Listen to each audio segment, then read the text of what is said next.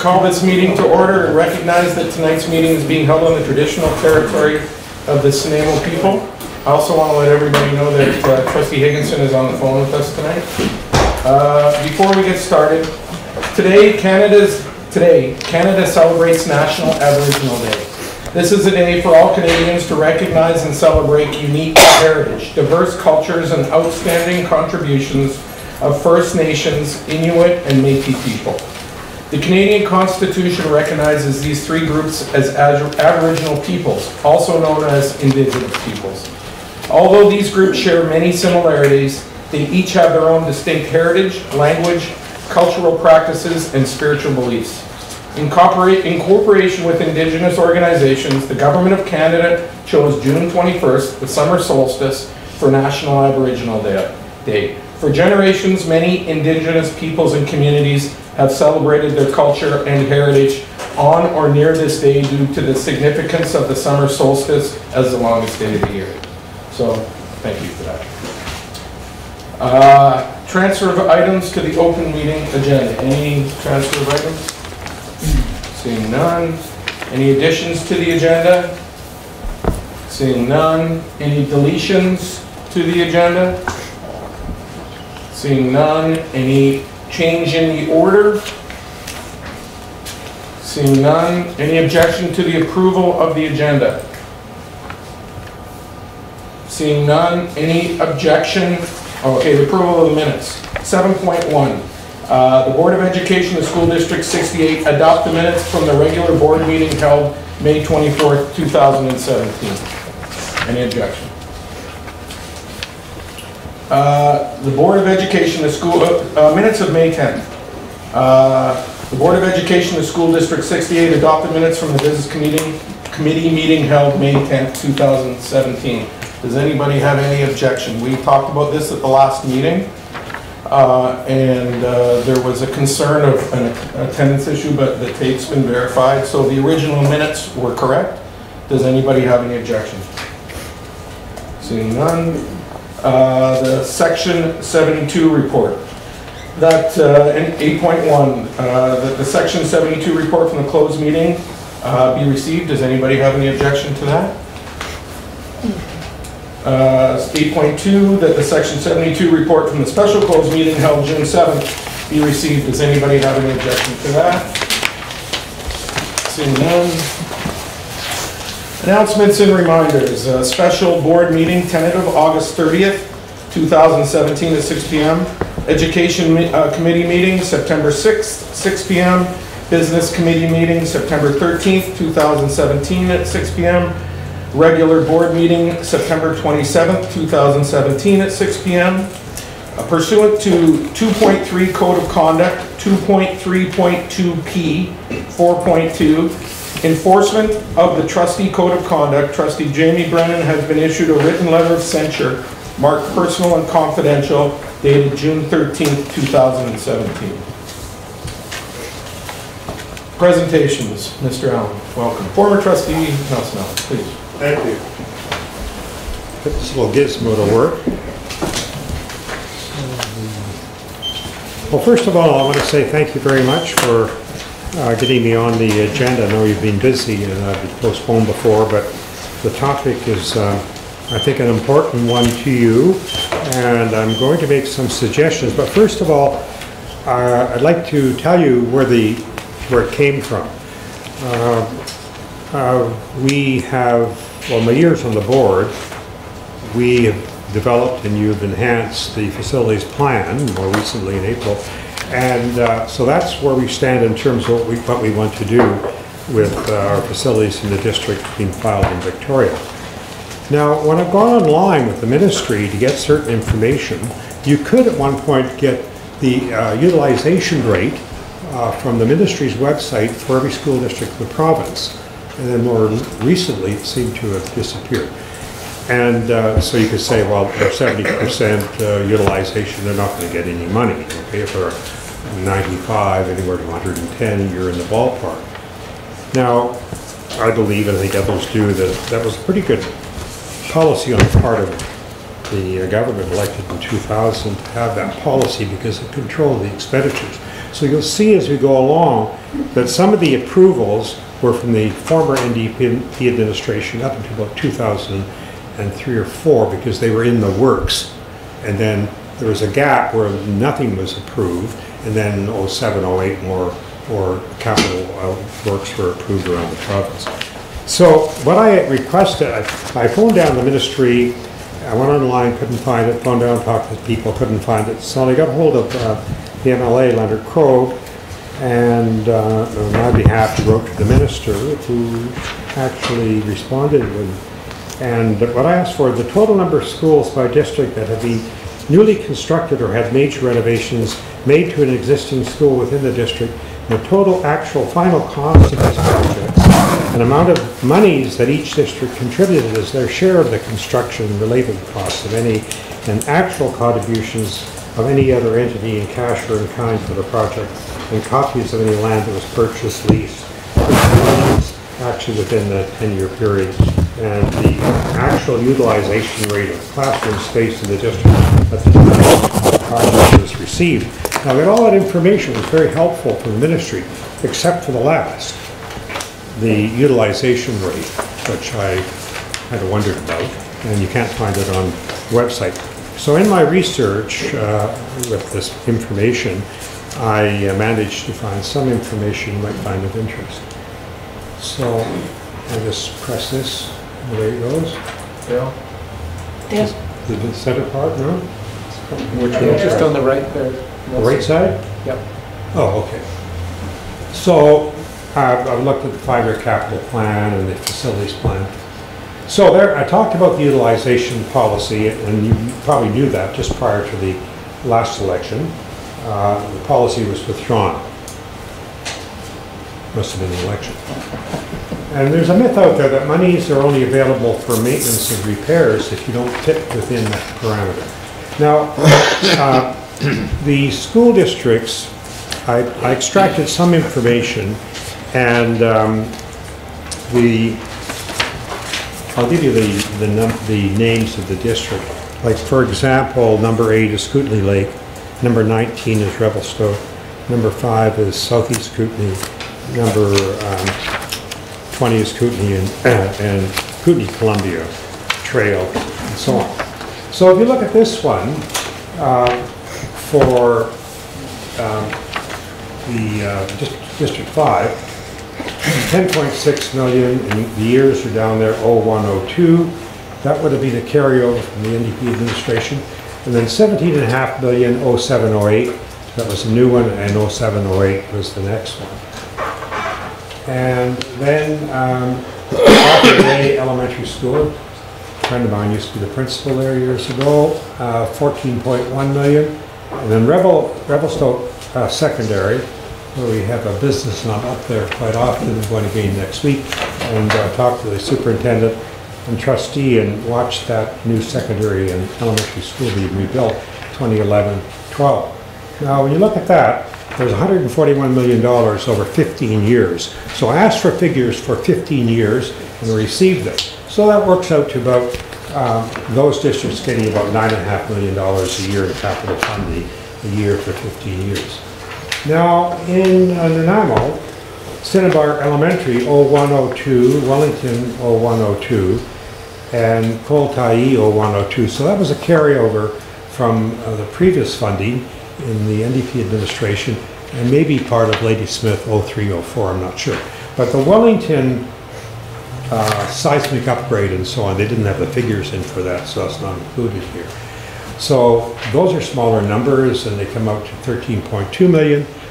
So you could say we got an average of about $880,000 in capital funding over that 15-year period compared to the nine and a half million.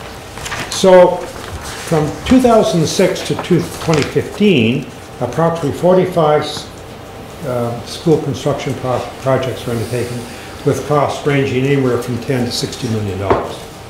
And the total expenditure in that time was approximately 600 million dollars. So there is money out there, and there has been money out there. Not all goes to Surrey. Surrey got a, a lot of money because they need a school about every week. So in the key roles, role of our staff, we've got a great staff here and up to date and in, in contact with the staff in Victoria Capital Planning Branch and the role of the Board of Trustees in securing capital monies for school construction. And as you know, nobody gets any money unless it comes out of the Treasury Board. And get, to get money out of the Treasury Board is basically a political decision. And so the board needs to get together and get the community uh, behind the board in order to achieve some additional funding. So my proposal, which is not new, is that the district start the public consultation process on the NDS uh, replacement options and have a wider community take, have the wider community take part in the discussion. Now, I did read that you were prepared, preparing to do that, and uh, we were talking about it a couple of years ago also. So hopefully that will get started. Now, just as a comparison, J. Lloyd Crowe and Secondary Trail was built in 1952 and replaced 55 years later with a new school at 30 point, $39.4 million. There's a current enrollment about 825. NDSS was built in the same year, 1952, 65 years ago, and it's old, and as we know, it needs to be replaced. Now, we need to, part of our plan is to work with VIU and the city, and some of that's happening, so that more recent transaction of property for um, the Rotary Bowl, the Roxham Stadium, uh, with the city. There's a fundamental difference, though. The city kind of likes to do things quietly in the background, and the mandate for the school district is more, you a larger constituency for public consultations. You have to be out, out more in the public, he said.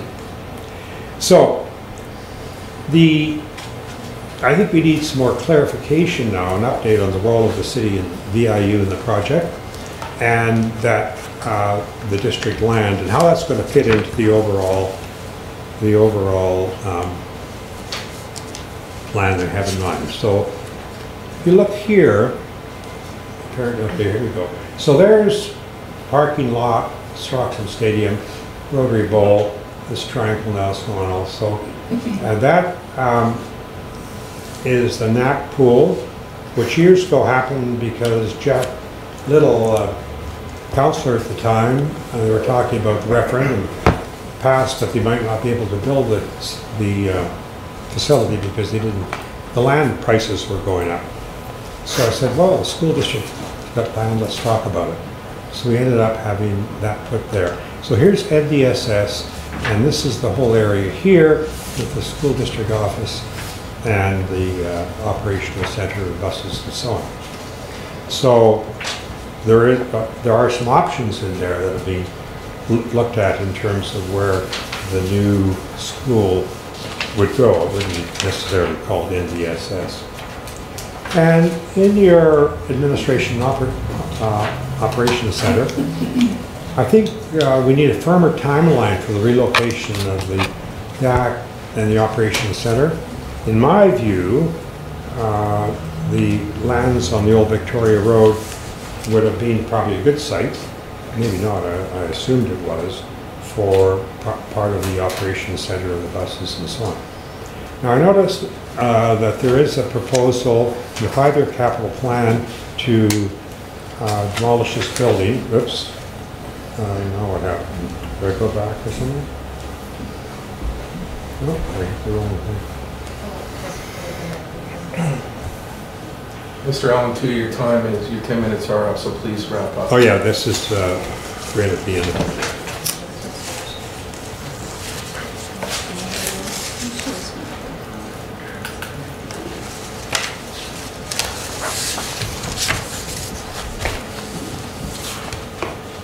Okay, so that property needs to be taken into consideration in the, the larger scheme. And uh, that property is being used for public education purposes since the turn of the century. And uh, so that if you take the last part, is if you take a look at where the property is there. It includes this whole area right down there. And years ago, when I was on city council, this whole area was rezoned for government use. So if you look down here, you have the court building, here you have the city hall, the annex to the city hall. And up here, over off the map, you've got the police station, the fire station, the community services building. And so it's a, a good place to, to put a, a proposal for um, developing that property in the longer term and commercial on the bottom, new school board in the top, and perhaps a place for First Nations uh, um, uh, education site. So that's basically what I wanted to say, and uh, if there are any questions, I will try to answer them. Well, thank you very much for your presentation. I sincerely appreciate your passion. Uh, It has been a, I know it is something that's been very important to you for a long period of time, and we're happy to hear what you have to say. Does anybody have any questions? Uh, Trustee Solomon? Yeah, I did have one, and I, I also want to thank you very much for coming, and uh, I think some of the points that you were, you were pointing out, are, I think this board is attempting to review as well. Um, so thanks for that, and, and certainly I would love to see a new high school as well. But one of the things that was always, I always wondered was, in the decision to, um, to go against the uh, building of a new high school at the Woodland site in 2008, and I know you were, you were a trustee on that board, um, what, I always wondered what the fallback position was, uh, because obviously we're in a situation that reflects some of, some of that, uh, some of those decisions. The fallback position for, Well, uh, the decision was made to counter the option of, of building a new high school on the Woodland site, rather than the ND site. Um, And obviously, the ministry wasn't very thrilled with that, and they got a new high school in Port Alberni, but, which didn't really help us out a lot. But I wondered, what was the fallback position in terms of moving forward to, to, with the vision that you have after that decision? well, I think there are a number of things that over the years, school districts have put in modified plans. One of the big factors for Woodlands was, uh, was the felt there wasn't anywhere near enough uh, open space for a larger secondary school. It's pretty cramped in there. All three of my kids went there over the years. and, uh, Whereas junior high it was okay, a secondary, but they, the, the enrollment fell down, virtually nothing. So here, with the transportation uh, facilities and so on, and the other, other UTEP, the other facilities, um, the IU and and the uh, pool and so on, is a better location, I think, for that school. One other thing I'd like to say, and that is with the, uh, we'll find out tomorrow, next couple of days, but we have a minority government, we all know, of one, one color or the other. But uh, in the absence of the, the uh, 90% to 110% off the board, it seems to me this is a good time to make an application or to investigate, uh, getting our oar in the water for some more money now. It might be an opportune time to do that. Thank you. Okay. Thank you, Mr. Allen. Uh, 11.1, correspondence. That the Board of Education of School District 68 refer the correspondence read, the use of Woodlands Secondary Field from L. Serban to staff for a response. Does anybody have any objection to that? Uh, 11.2, that the Board of Education of School District 68 refer the correspondence read, student teacher placements from S. Toll VIU to be received and filed. Does anybody have any objection to that?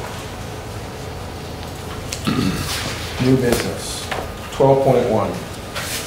Uh, The Board of Education of School District 68 approves the creation of a parent advisory council for CTC and VAST pursuant to the uh, British Columbia School Act, Chapter 412, Part 2, Division 2, Section 81. Do we need a mover and a seconder? I'll move that. Uh, Can I have a mover, moved by trustee Brzovic, second by trustee Rutley?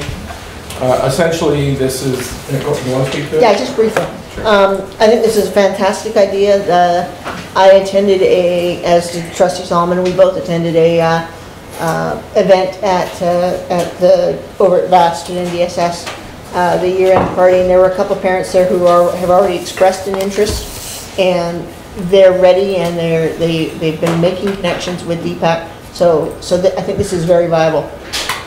Thank you. Anybody else like to speak to it?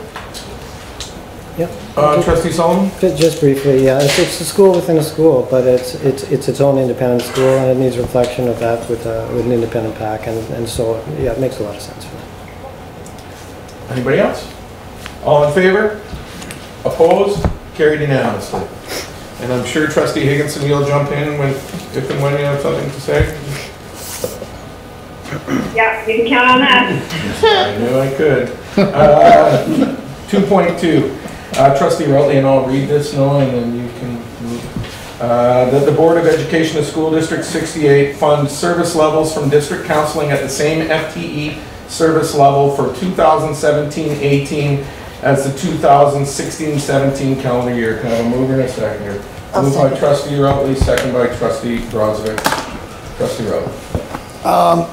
So at our, at our last NDTA uh, TTLC meeting, uh, trustee Higginson and, and uh, Kimler and Brzovic and myself um, heard from uh, the NDTA that, that counseling, um, elementary school counselor service levels were reduced uh, due to, you know, budget changes. And as you guys know, uh, our lift funding was, uh, was reduced. Um, And basically we've like i'm thinking as i want to look at cuts farthest from the classroom and things that affect kids the least as far as as um, reductions and budgetary changes um, and because we are going to see more more heads in the rooms there's going to be more more students and uh, as we all know more teachers.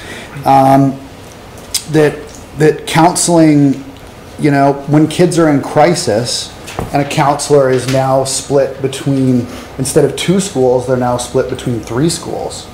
So they're seeing a direct impact uh, for teachers that are, that are actually being able to see less um, people in the moment because they might be pulled between various schools um, they're they're also doing a lot of the the ministry like risk assessments and some of the real safety stuff for our kids our vulnerable kids in the district to make sure they're safe so these are just very important um, staff overall to the entire community right and um, and I, and I know uh, like I've heard I've heard from from uh, Mr. Blaine where are we going to fund where are we going to fund um, this money? Now that the lift has been lift has been re- reduced i'm thinking uh, like the supplies and services that we have in our budget i think it was $542000 um, for the additional um, monies that we've received from the ministry uh, we've allocated that.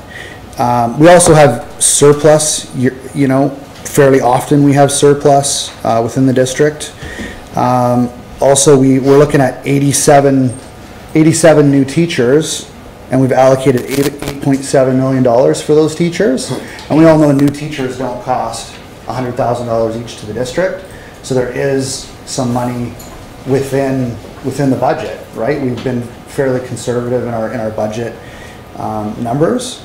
Um, And also too, we're, you know, as you guys know, we're, now that we have a- larger group, there's also going to be upper management positions um, that are, that the district is looking at um, adding, right? So, so we could just simply not add a position. So there's all sorts of different places where we could find uh, that money.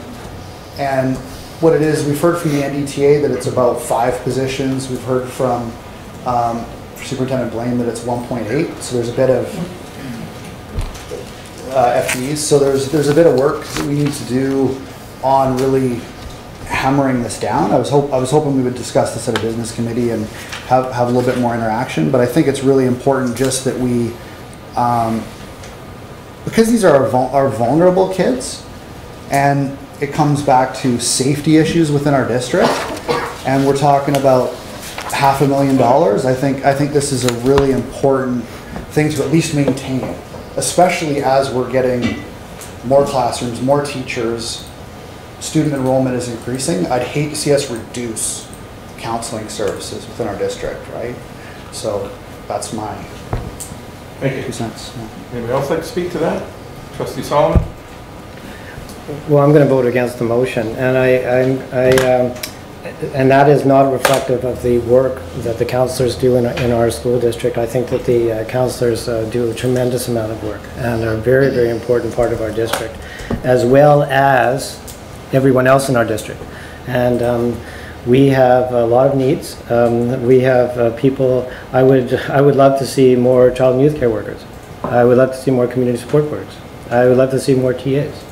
Or, uh, uh, um, I'd like to see uh, more people added to CUPE in terms of support people, in terms of carpentry and whatever. Each of these people support our district and our children in our district in, in their own way. I, um, this, this kind of um, uh, piecemeal uh, situation where there's uh, individual, well, we want, you know, with this, this specific addition or this specific, I think that there's uh, ongoing uh, discussion uh, between senior management and CUPE and NDTA. And I think that that's very, very important discussion. And they bring information back to the board and we, and we decide where the priorities should be in terms of what money is available to this district in terms of spending for our kids. And I, I'm not keen about a piecemeal thing, well, we'll add one, one counselor or two counselors or three coun, I, that's not where, that's not the discussion I want to have right now. So I'm going to vote against it. Thank you. Trustee Robinson?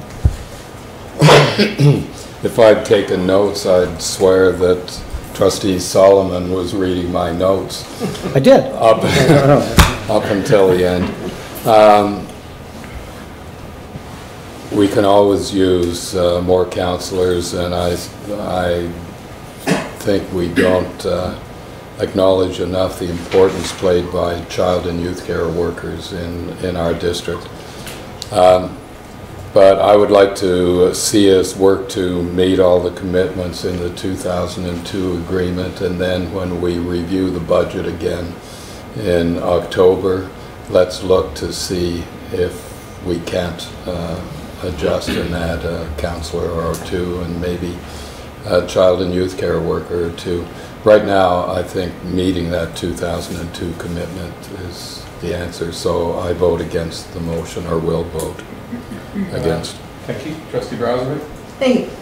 absolutely, trustee Robinson is correct, that meeting the requirements of the 2002 agreement is absolutely paramount.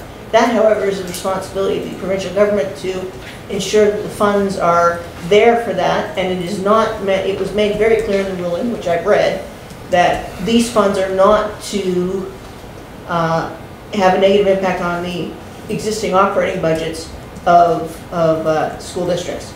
Uh, What we're talking about here is not an, um, an addition, it's basically, it's maintaining the status quo with that 1.8, which is why I support the motion. We're not asking to increase it beyond what it was last year, we're asking to maintain it. Thank you. Trustee Kimler? Uh, Yeah, sure. While I, while I understand that uh, the desire is to keep the level the same as it was last year, uh, it's my understanding that the lift fund went away with the Supreme Court decision and it's part of the negotiations that the BCTF have been involved with uh, the province in bringing back the language from 2002.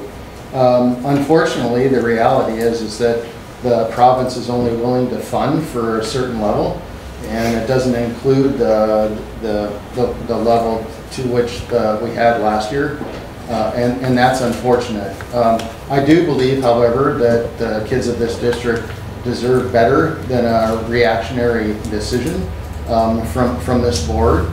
Um, I, I think that um, the, the numbers that we heard uh, from uh, the discussion that we had with the NDTA uh, during the TTLC have, have changed. And, and I think that the reason why is because um, this is an ongoing process. Uh, We, we, we have not um, come to terms yet with the Supreme Court decision. And I think we will see shift and changes from, from now through the summer until the, until the fall. I think that, uh, I think that it's inappropriate for trustees to inject themselves into this negotiation process at this time. I think that it would be more prudent for us to take a wait-and-see approach. Um, and, and to look at the whole system, because it's a very large system. It's, it's more than, than, um, than just counselors. And, and in fact, um, in, in going back, I was very tempted this year to make a motion to, um, to allocate funds to provide for Aboriginal coordinators, because I learned um, through, um, through the discussions that we had here at the board that the transition rates for our Aboriginal learners uh, are great, right up until grade 12. And then at grade 12, we lose nearly 40% of our Aboriginal students, um, which gives us grad rates that are, uh, that are not anything to boast about. And, and to me, if, if we're gonna focus money on something that's, that's critical, I- th- this is an area that we can make um, a real strong impact. So for me, it's not like, well, gee, I- yeah, I, I want counselors, but yeah, I want Aboriginal coordinators, and I want teacher librarians, and I want CUPE workers, I want janitors, I want the professional trades. I mean, a lot of these, uh, a lot of these groups have taken hits over the last number of years, and, and if we're going to make a decision about where to put money, and, and, and and there's a question of where this money comes from, because we've allocated, these are reoccurring costs. We can't use our surplus to pay for it. We can't use contingencies to pay for it, because they're recurring costs. You can pay for them for year one, but what are you gonna do for year two, three, four, and five? These are reoccurring costs. So we have to actually give up something if we're going to reinstate these positions as they're, as they're currently um, set up now. So, so for me, I guess I, I would rather, let us see how the Supreme Court decision plays out, and then let us look at the hot spots. and I'm sure staff, as they, as they have done already, um, they'll, they'll look at things and, and they'll make recommendations about where we can get our biggest bang for our dollars, because I think we have to look at the whole system rather than just a part of it. So for the, these reasons, I can't support this, this motion. Thank you. Steph, you got something you want to add to this? Uh, no, not at this point. I think it's all been said, but I won't be supporting this motion for many of the reasons already stated. All right, uh, I'll speak to it. Um, I I can't support this motion. And and the first thing I want to say is I don't think there's anybody sitting in this room that doesn't want more counselors. I don't think that's the question, like trustee Solomon said earlier. A- And there's two parts to this. We've already passed a budget. The, the budget where these funds would come from, we went through a democratic process, the non-SCC budget, we passed that. And, whi- which would mean that we would have to reopen that budget. And if that's the will of the board, so be it. I, I know I would support that. We've already gone through that. And like many have said here, um, why, why counselors? Why not EAs? Why not people that cut the grass? Why not fix the lead in the water? Why not more Chromebooks? Why not more CUPE workers? And, you know, we haven't even heard from our staff whether or not they think that that's what we, where we need to spend money. Because if we are going to spend this money, it's coming from somewhere else. It's not part of the SCC budget. That's a, that's a, a budget that is driven by formula. It has to come out of the budget that we already passed. And so for us to reopen that, that means we're taken away from somewhere else. And I know I voted, this board voted democratically to pass that budget. So for those reasons, I mean, there's still a lot of questions. Again, I don't think anybody disagrees. We'd love to have more of everything. But uh, at this particular time, I think it is far too premature to, to move ahead with anything like this. So, Anybody else? Trustee Bob? Um, I wonder if I could move a, a motion to refer this to staff for recommendation? Well, uh, you could if you have, some- yeah, does somebody want to make a it- amendment to the motion? Or you want to do a separate motion completely? Because we're in the middle of this motion, so the only way, thing that you could do is make an amendment to the motion. Otherwise, we need to see this motion. Well, I- through. Uh, hold on, Probably. hold on. So Yeah, I, I would like to move an amendment amendment that says, that the Board of Education of School District 68 refer the matter of district counseling to staff for recommendation. Uh, Second by trustee. Oh, no, I, I wanted to actually ask if I could make a friendly amendment to that. Well, first let's find out if it's accepted. Yeah, okay. So can somebody, somebody make us a seconder to the amendment? Can I have a seconder to the amendment? Okay, I'll second it. All right, so you want to talk to her about a friendly amendment to your I amendment? would just suggest that that would also include a the staff report on the, co- make, make it clear that the staff report on the costs, the- of what, the what, what the Okay. 1.8 would, would be, yeah. I think that would be all. Okay, as long as, as long as we're clear that we want that information too. All right, uh, do you want to speak to it? No, I think uh, it does warrant more discussion, and I would like to hear from staff. So, and I, I understand the, um, the, the notions of, you know, taking one issue and um, not taking everything into account, but I, I do, do want to explore and fuller, have a full understanding of the issue. Uh, For me, I'll, I'll go Commissioner ahead. Generalist, Yep, Just a point of clarification, uh, should there be a timeline? On that? Yes. I mean, because we have a budget. to pass, right? report back in the fall. Yes, by, by, the fall. by September. So so just another clarification, so this has nothing to do with the budget that's about to be discussed? Nope. So, just so we're clear here, trustee Rutley, you can chime in here. What, what trustee Rutley is asking for is something to be added right now. So what your am- amendment is asking is for a report to come in the fall. I think, and I'm just making a suggestion here, perhaps a, a better way to approach this, and this is up to you, that if you, after we decide this, you can decide if you want to have a- another motion to talk about a report back in the fall, because what you're asking for does not align with what trustee Rutley is And that's okay. It still will be, there will be an opportunity to talk about it further. And I'm okay with that. I'm okay with waiting. Okay, so um, the amendment to the motion is then that we would wait until Sep- to the fall of next year to discuss, um, help me out here, to discuss the, uh, get a staff recommendation on whether or not that we add this to the, and I just have a point of order here. yeah, I think that this, um, this amendment is substantially changing the motion. I think it's a separate motion. I think we should It's a separate- move forward and vote on the current motion, and then if that motion fails, we can move this one. It- This substantially changes the motion. Yeah. It's not along the same lines as the motion, so I think that it, you know, as a point of order, that this is a different motion. It's not an amendment to the motion from what I'm hearing from where I am, and I think that we should remove it from the table and vote on it separately. I, I agree to, uh, so do you have any objection from us? Okay. So we're removing that amendment from the table. We're back to the original motion that trustee has put forward. Anybody else like to speak to the, the motion? All in favor? Trustee, oh, sorry. Uh, all opposed? Trustees? Trustee Higginson, trustee Solomon, trustee Robinson, trustee Bob, trustee Ray, trustee Kimler, the motion is defeated. Thank you.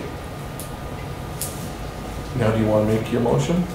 Uh, Yes, I would like to move that the Board of Education, School District 68, refer the matter of school district counseling for discussion September 2017. Do you have a seconder? Trust, second by trustee Brosner? Want to speak to it at all? Um, I've already said it, basically would just like to, to know a little bit more. It does warrant a little bit more discussion, and Trustee Kimler? Uh, yeah, I'd like to make a friendly amendment to that if I can. So, um, I don't think September is an appropriate time to really look at this. And, and the only reason I say that is because we're going through this whole Supreme Court thing. So I think it's gonna take through the fall until we really understand like where we stand for counselors, where we stand for teacher librarians, where we stand for teachers and EAs and all that thing. And so uh, I guess my friendly amendment would be to, um, to push that back until the next budget.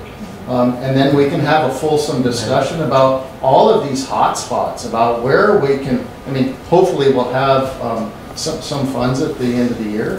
um, and then we can apply to some of these areas that, that are um, uh, problematic. And, and I don't disagree at all with, with uh, uh, trustee Rutley that, you know, we- we need more counselors, but we need a lot of more things, right? So that, that would be, that would be, Are you okay with the friendly I am. amendment?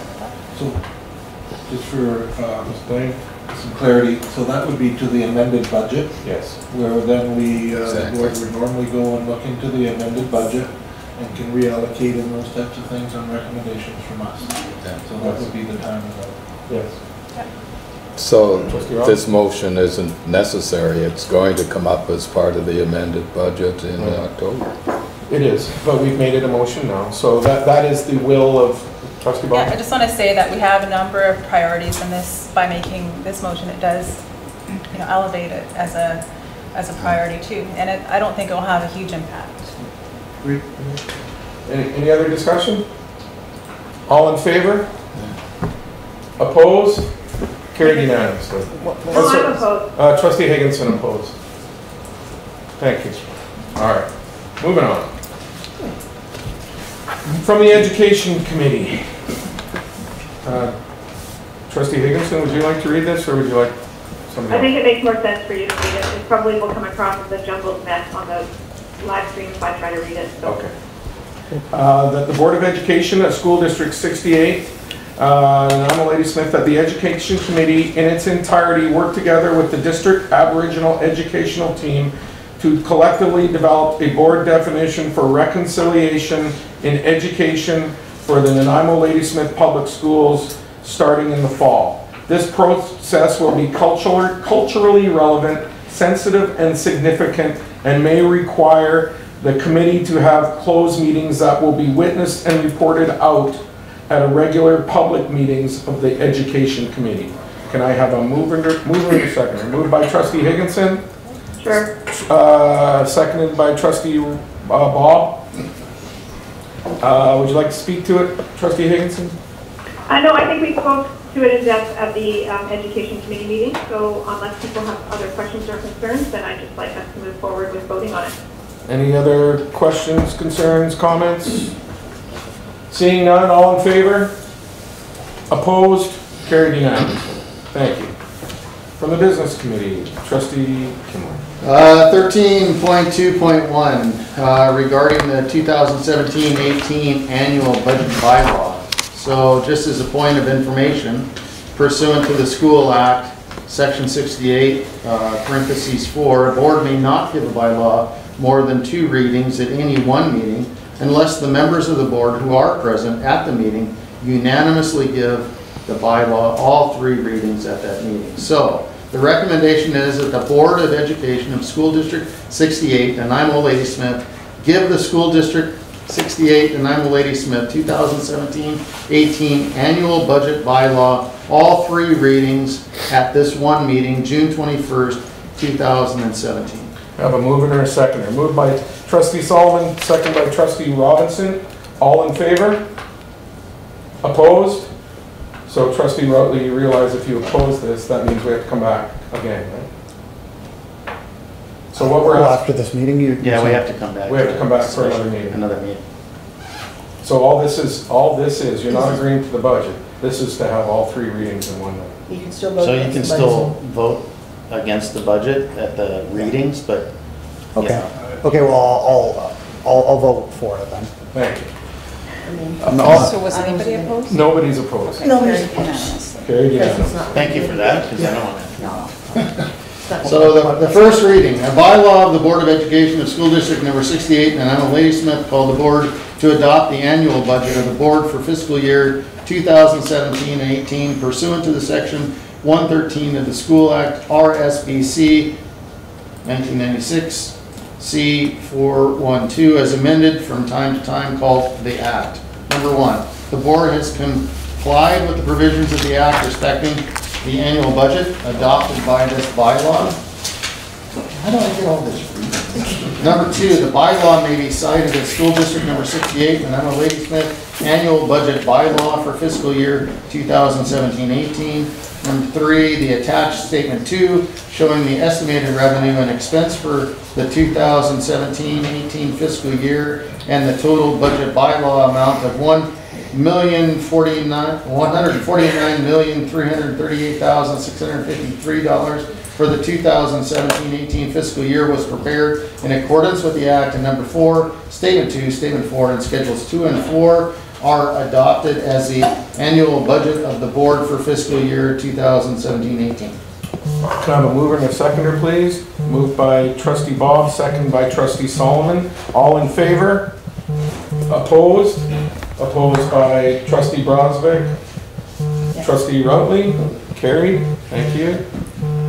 Uh, Second reading, a bylaw of the Board of Education of School District Number 68, Nanaimo Ladysmith, called the board to adopt the annual budget of the board for fiscal year 2017-18 pursuant to Section 113 of the School Act, or SBC 1996C 412, as amended from time to time, called the Act. Number one, the board has complied with the provisions of the Act respecting to the annual budget adopted by this bylaw. Number two, that bylaw may be cited as the School District Number 68 in annual budget bylaw for fiscal year 2017-18. Number three, the attached statement two, showing the estimated revenue and expense for the 2017-18 fiscal year and the total budget bylaw amount of $149,338,653 for the 2017-2018 fiscal year was prepared in accordance with the act. And number four, statement two, statement four, and schedules two to four are adopted as the annual budget of the board for the fiscal year 2017-18. Can I have a mover and a seconder, please? Moved by trustee Robinson, second by trustee Solomon.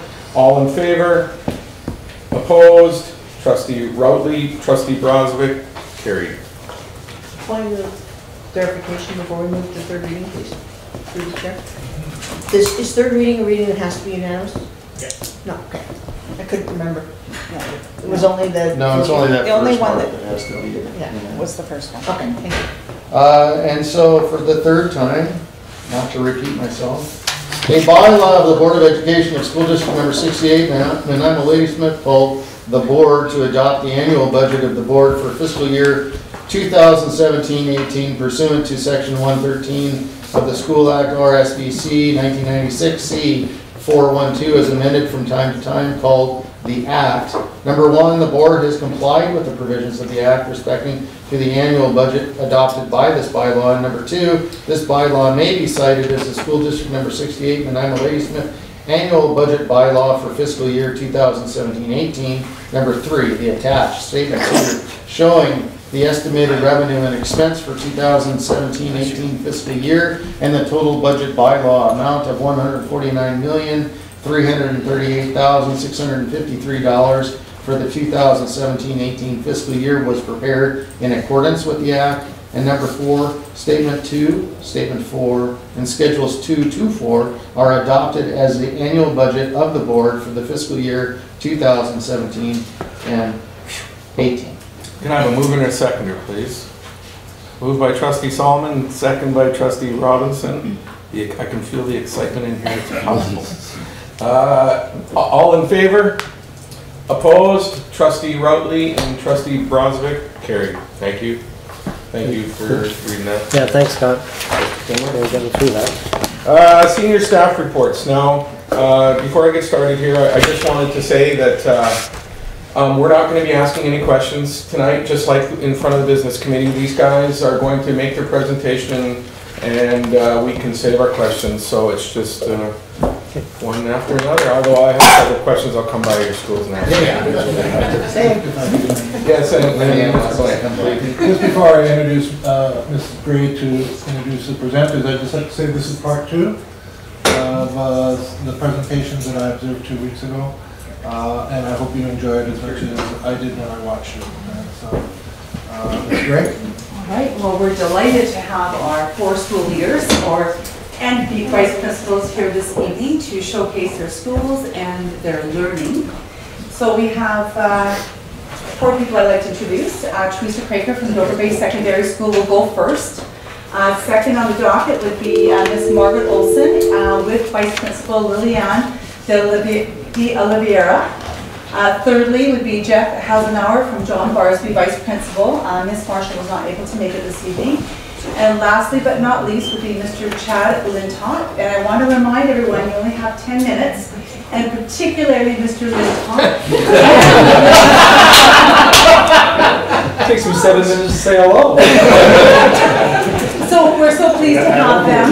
Um, We know the great work that they're doing out there, and every single one of them will showcase it so well, and we're very proud, and I know Mr. Sable and I are very proud, and this time I wanted to be able to introduce all of them. So welcome, and uh, carry forward. Come on up. Thank you, Ms. Gray. Oh, yeah. I gave it to Dan. Just when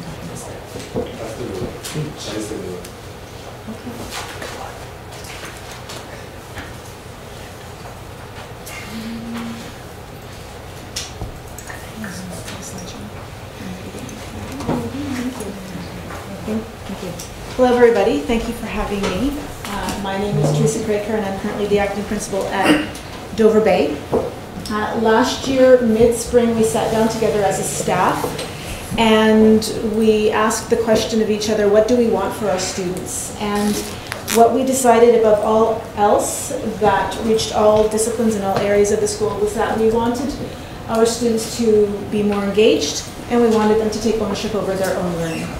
So that became our inquiry question, uh, our focus for this year.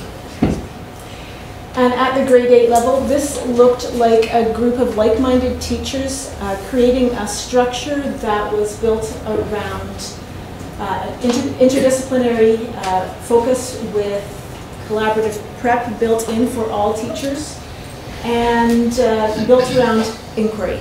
So they, the students did all of their explorations and learnings with an inquiry lens. This particular uh, assignment was uh, an Aboriginal focus. It had an overarching question of how does where one live affect how one lives? And this question was asked in all of the discipline areas. This question was asked in French, in healthy living, in uh, math, science, English, and socials. So wherever the students went, whichever classroom they were in, whichever teacher they were with, the question was the same. In grade nine, it looked a little different, less built-in structure, but students were uh, still were within year-long courses, and they just had their presentations of learning last night. They were asked to choose three different uh, three different things that they were proud of over the course of the year and bring them together into one uh, presentation. This young lady up at the top with the, the wooden box, she chose to um, highlight the uh, hope chest that she built for her sister uh, in her woodwork class, in her elective class, and then she also included a, um, a presentation that she had done on uh, Canadian provinces. She chose Alberta, and the reason why she chose Alberta and chose to showcase the box together was the, uh, that she wants to be a carpenter, and she wanted to explore the Alberta economy so she would know if there would be a job there for her when her time came. And uh, one thing that all grade eights had to do, all grade eights and grade nines, sorry, had to do at the end was they had to answer these three questions. They had to answer what worked for you as a learner, what are you learning and why is it important? This is really important when it comes to student engagement. And what are your next steps? And I've got a, um, a little video here of some grade eight uh, students answering that question. Uh, This is our interdisciplinary project focused on Aboriginal understandings and that has one inquiry question as a focus for all subject areas. Um, I feel like it's important to learn about this because we are Aboriginal get to know our history and where we are. And it's very, mind maps in general are very good for visual learners. So I feel like it'd be helpful to know how to connect things and instead of trying to figure it out in your brain, you can just put it on a piece of paper and understand. something that worked for me was being able to plot everything out and sort of just look back and forth and start to see connections between one subject area and another, and just being able to write a short sentence and carry on to the next one. Um, what I loved about this project was having one main idea for every subject. So wherever we went, from French to Philippine to humanities to STEM, we all knew what we were doing and how we just sort of threw our ideas down and sort of just connected them into one big idea. Um, I feel like I'm starting to learn more about the Aboriginal culture and um, how the way we live now how it affected us back then. And um, I mean, I'm and I don't know much about it, but through this inquiry project, I've learned I knew before.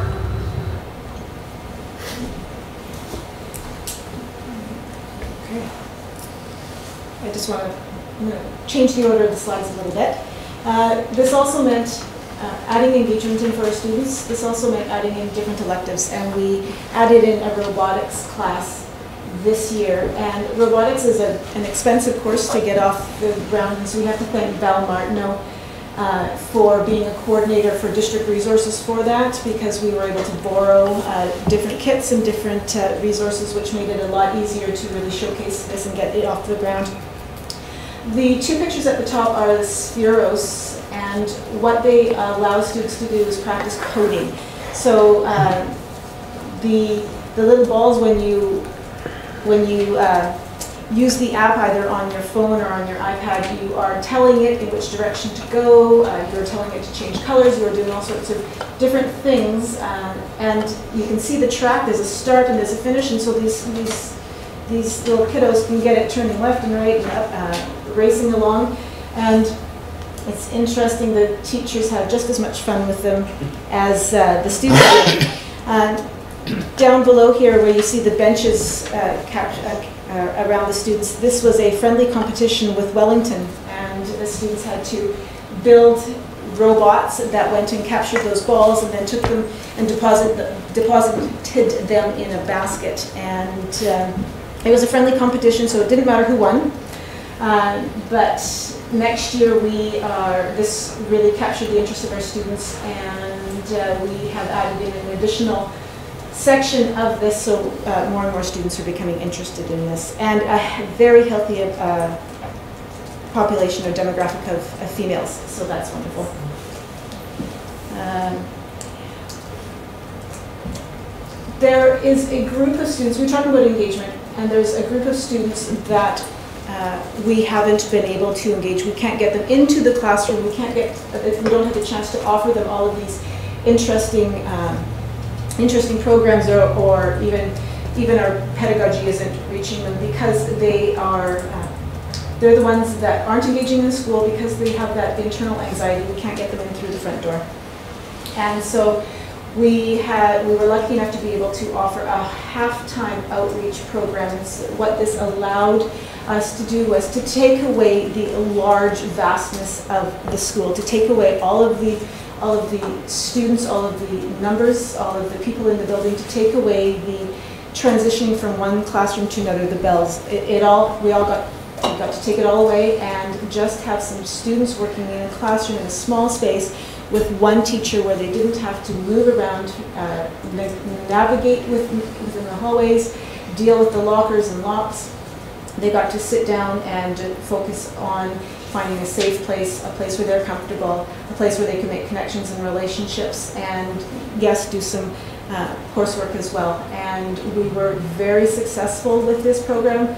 Uh, Those students really found a home, and uh, we we're again lucky enough to be able to increase the size of the program for next year. So it was a half-time this year, and we have it as a full-time program for next year. And there's even some students that don't make it into the door or into the uh, building for this kind of a program, and this teacher actually goes out and uh, connects with students either in their home or at Tim Hortons or in the library on a weekly basis, just to, uh, to keep that connection going and um, to check in on coursework and offer support that way.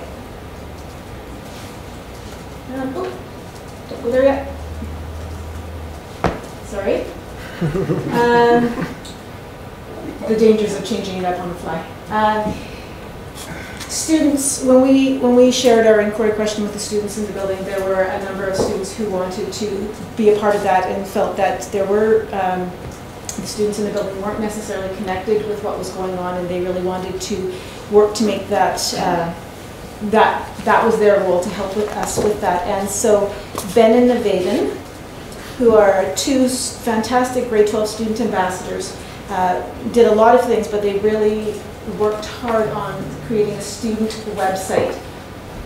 Uh, This is dbdolphins.com, and it is attached to our school website, but it is with a student focus. And it's, the point of it is to just make sure that students always know what's going on. Uh, They worked really hard all year long, uh, and to their credit, they never let this get pushed to the wayside. They all, you know, it's completely up to date. There is uh, all sorts of things, all sorts of uh, interesting things on here. You can read about Mr. Hancock, one of our vice principals, if you wanted to read a bio on him. Um, All of the, all of the um, daily uh, announcements end up on here, the cafeteria menus, the Friday rotations, uh, different ways for students to get involved in all of the different things that are going on in the school. And uh, they have very successfully kept this going, but also created a bit of a succession plan as they've been training other students to uh, keep going, keep this going once they're gone. And then another thing that they really wanted to focus on, their legacy, so to speak, um, as they're graduating students, is that they uh, wanted to change the logo. We have been the wave at Dover for, well, since we started, and they decided that we aren't a wave, what are we, we are the Dover Bay Dolphins. So we started a logo contest, and we are just wrapping that up right now, and I'd actually like to ask you to help us be a part of that. Um, We have narrowed it down from about 70 different, 70 different submissions down to three. Uh, The criteria was that it had to be a dolphin, that it had to be, uh, had have Aboriginal content. There was another criteria, but I don't remember what it is right now, sorry. Uh, It was the dolphin and that it had to have Aboriginal content. And so I'm going to show you the three submissions, and I'm going to ask you to help us out with voting. Okay. Yeah. I don't know if this is going to be help this one vote or not, but. Good. Is, is this for the event center? It's a hazard. Is it for the event, is it for the event center? The timer's not going yet.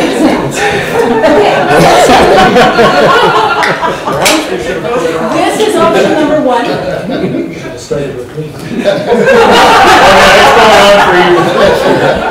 This is option number two. And this is option number three. That's not a CC. One again? Yeah, okay, okay, go through them again. So, I think you already have our vote. This is oh, option one. Oh, Number one, I don't. This is option two. He's got a mean, fierce look. Yeah. yeah. And option three. A little too complex. Okay. All right. Thank you very much. Thank you. Thank you.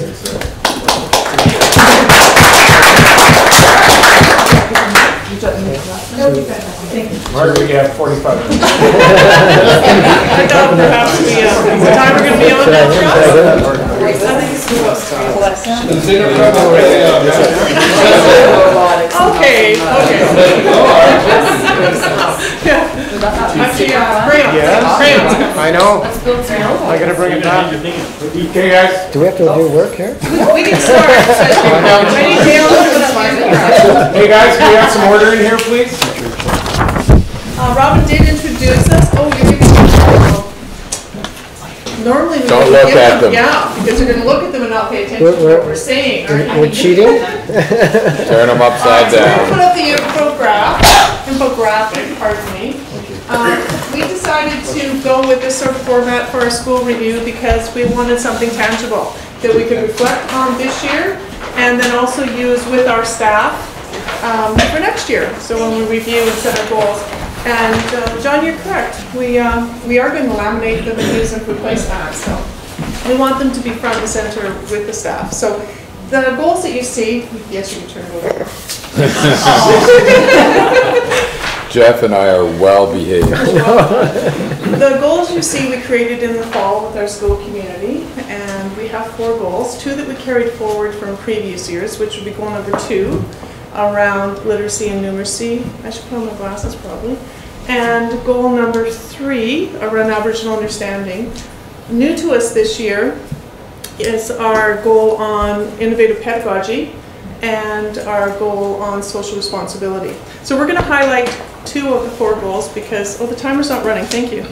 Um, And that would be our social responsibility and our innovative pedagogy. And Liliana and I are going to do a bit of an Abbott and Costello piece, so she's going to start talking about social responsibility.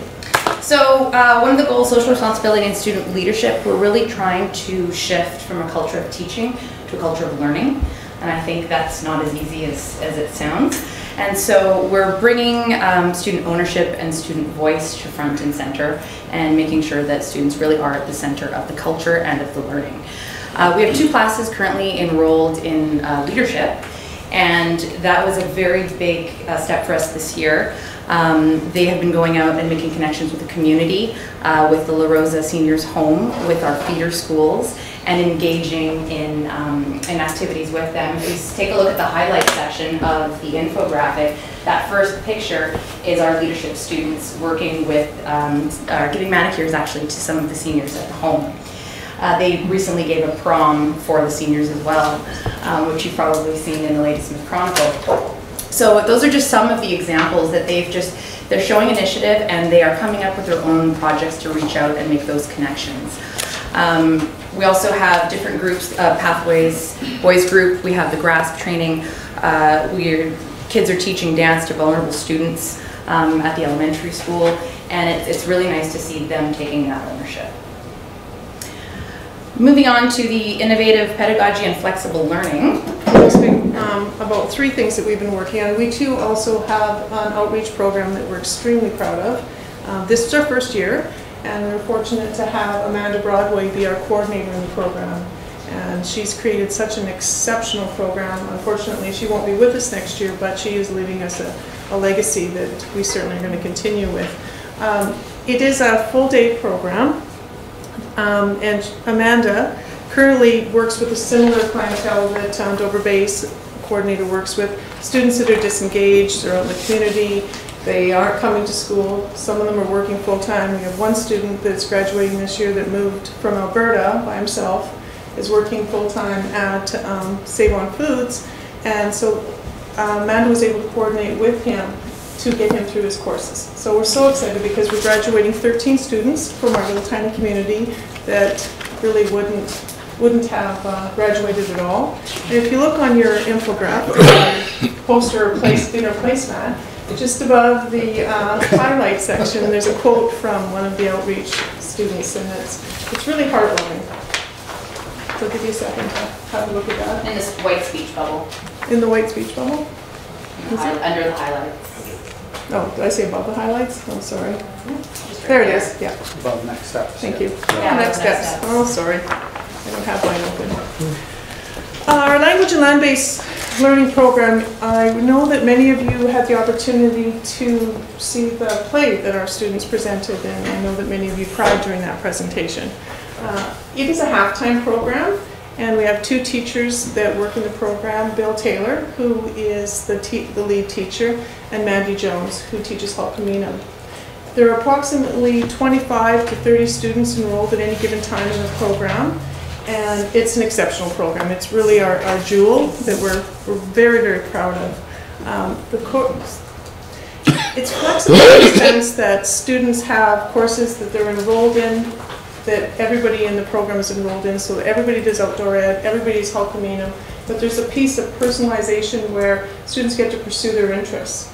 And the video that we're going to show you is created by one of our students who's interested in going on to film school. And he speaks to what the program, pardon me, the people in the video that he prepared speak to what the program means to them. As soon as Dale gets here and finds it, there we go. Oops. This is so much more than a tree next to a highway. This used to be someone's land and has meaning and it has much more meaning than just reducing oxygen. I kind of learned a lot of things in this class. Like, you know, spiritually, because uh, our elder in our class, Mandy Jones, she taught us uh, more about mental health, emotional health, and, you know, physically being healthy and how, you know, nature kind of help us feel a little more light swallowing. Well, in my personal life, I feel like I became more respectful towards everybody. I've had to tell some people off because they were being too rude. And my mom's told me, you you changed, like something happened to you. Like became more respectful, you became someone different. Something happened to you and I'm like, because of the class. It's all because Mandy and Mr. Taylor. I give a lot of thanks to them. Has allowed me to speak less quiet and go loud. And I've learned that it's not always a bad thing being the person that you are. And that this class does teaches me a lot of things. I think I've much more patient and less rational thinking, which is probably good. It's too much Western society can be ugly. Yeah, I really love this class. I, I wish I could take it next year. Like I will see, See everybody in our class being a little bit different in a good way. Uh, today at lunchtime, I was eating my lunch up in the detectives, and I heard someone yell out, I name checked Mr. Bronner right across the lunchroom, and was not anybody in our language-based class, it was just someone else yelling out, I named it, the teacher, it's, uh, yeah, I used to hear the language like that in our school, so I thought that was wonderful. Not spiritual in any way or barely before this class. It was just, I never got the connection between how you speak and how you feel.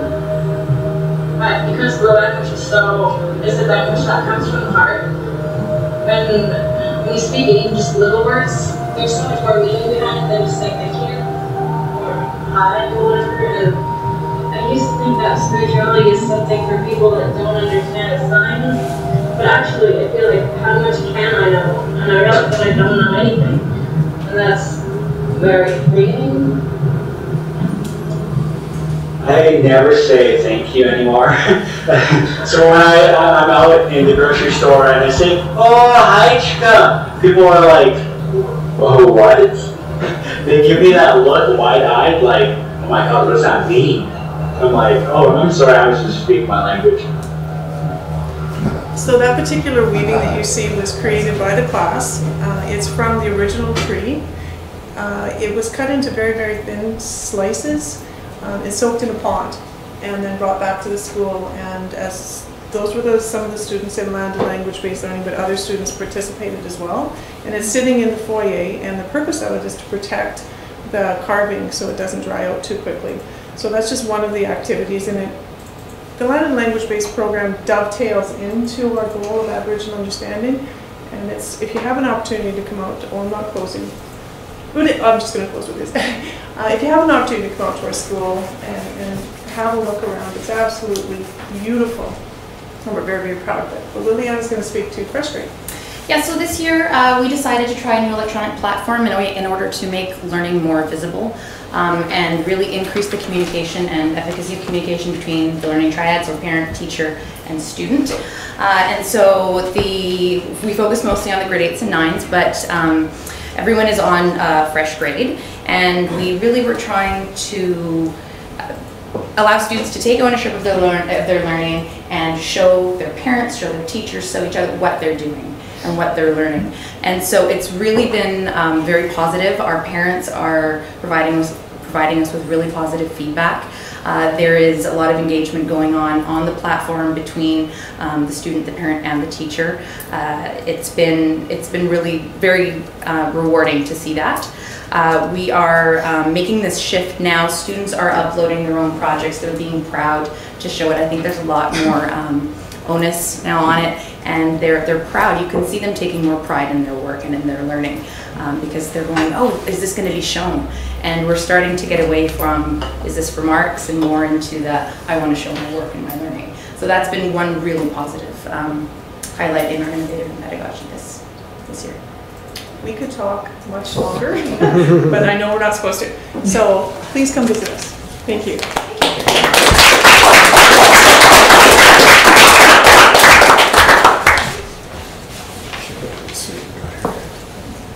Shall I just dive in here and?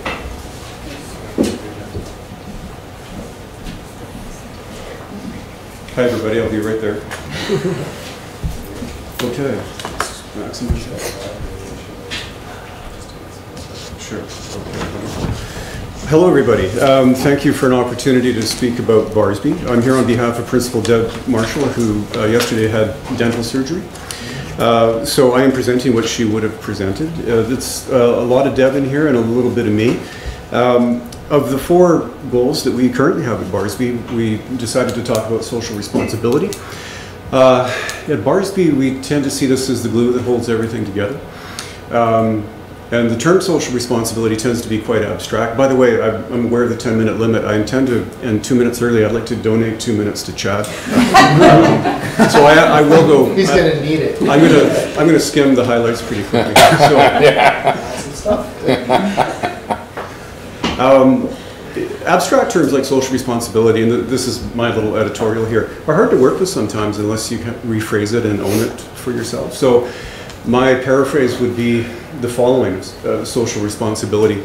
How does each person, in this case at Barsby, uh, or indeed in our society, um, how do we want to live well with other people? That, that's what makes sense to me. Uh, Not to live in a negative way, but how do we want to live well? And uh, the second word, uh, responsibility, I guess I rephrase as what am I prepared to do to make that happen? So, what I'd like to show you is a little story or, or some images of Barsby. Uh, how do we do that? This is our motto try your best, do the right thing, get better each day. It's the Barsby way. We read that on our daily announcements, it appears in print. Um, it is, you'll hear it in the hallways. We, uh, we, we do refer to it a lot. And, it, and when we talk to kids, perhaps, for example, on a discipline, uh, disciplinary level, sometimes we refer to this because it's part of the culture of our school.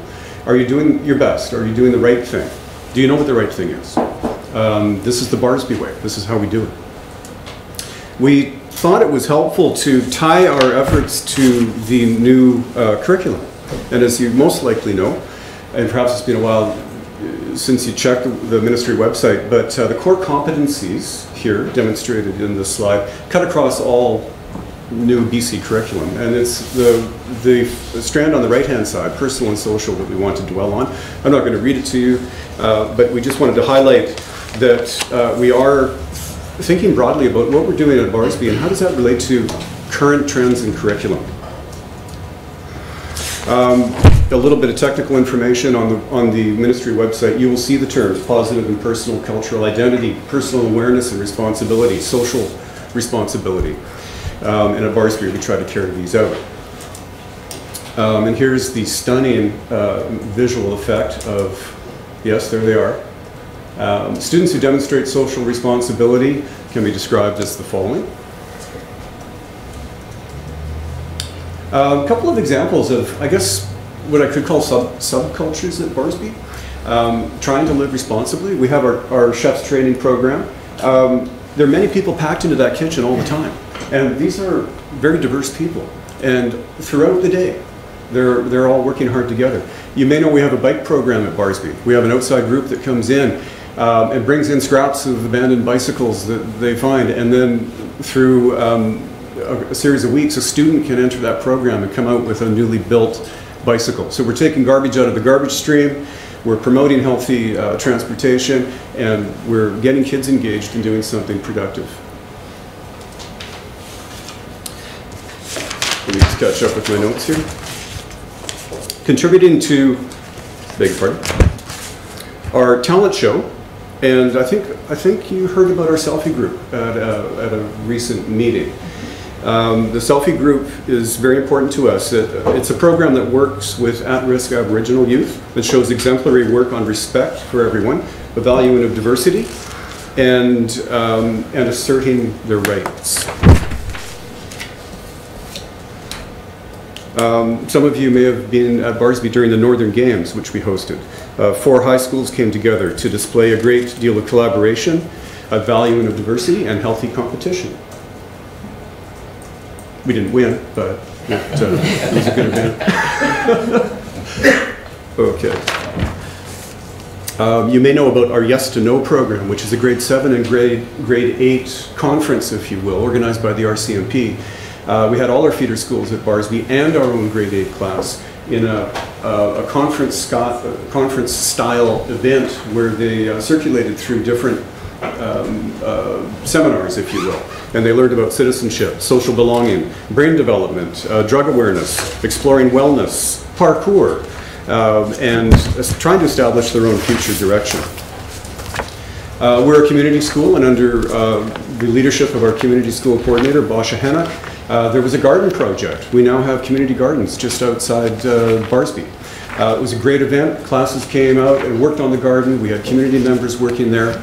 Um, and it was a good group effort to get our, our vegetable garden growing. When I was out there today, um, our kale and lettuce and other vegetables are doing very well. Um, I think, yes, this is the slide. Right up at the top right, you will see trustee Bill Robinson. I think that's you, Bill. Uh, this is Oh, our... good looking, yeah. Yeah. Got a special sweater on. That's the good-looking yellow sweater you're wearing there? Yeah. Yeah, okay. Um, This is our Living Library event in which uh, Bill is instrumental uh, in working with us and bringing in professionals uh, representing different occupations into the school. So kids, again, in a kind of a conference style, can go around and talk to, sort of in a speed dating fashion, I guess. They have five minutes to uh, hear about what different occupations are like, trying to set their own directions in life. Um, This is a charity uh, event. We got together and held a charity dinner to uh, support an orphanage uh, in Nepal. Uh, Very important part of the culture of Barsby and demonstrates um, social responsibility and gets kids, kids engaged in that. The Hamper Project, our school assembled 60 Christmas hampers this year um, to help um, especially needy families in our community. Uh, defending human rights and advocating for others, learning how to speak up, asking questions. What are ethics? What are ethics in everyday life? And how do we use social media? Uh, this is a shot from our, our, um, our Yes to No conference. We welcome all uh, forms of life at Barsby. We welcome dogs and, uh, yes, even um, soldiers from ancient Sparta. Uh, they're all welcome here at Barsby. Uh, inclusive education provides opportunities to learn about, accept individual differences, lessening the impact of harassment and bullying. Uh, we may be, to my best information, the only school who, um, who celebrates a CUPE, a CUPE day. Um, the admin and teaching staff prepare uh, lunch for our CUPE members. Uh, we try to do their jobs as best we can while they're free to come to the lunchroom and enjoy a meal. If there is something free, it must be earned. This is preparation for real life. Students must pay back within the school community. Pictures of our students hosting a volunteer appreciation tea to thank our many volunteers. I'm sure probably everybody here has been to our feast. Um, it was the first time for me this year. I was just amazed by uh, the event. This takes place in the winter. It's run mostly by our um, Aboriginal Education Department. Uh, obviously, we have community members, and um, there's Denise Fraser, our RCMP liaison constable, helping out.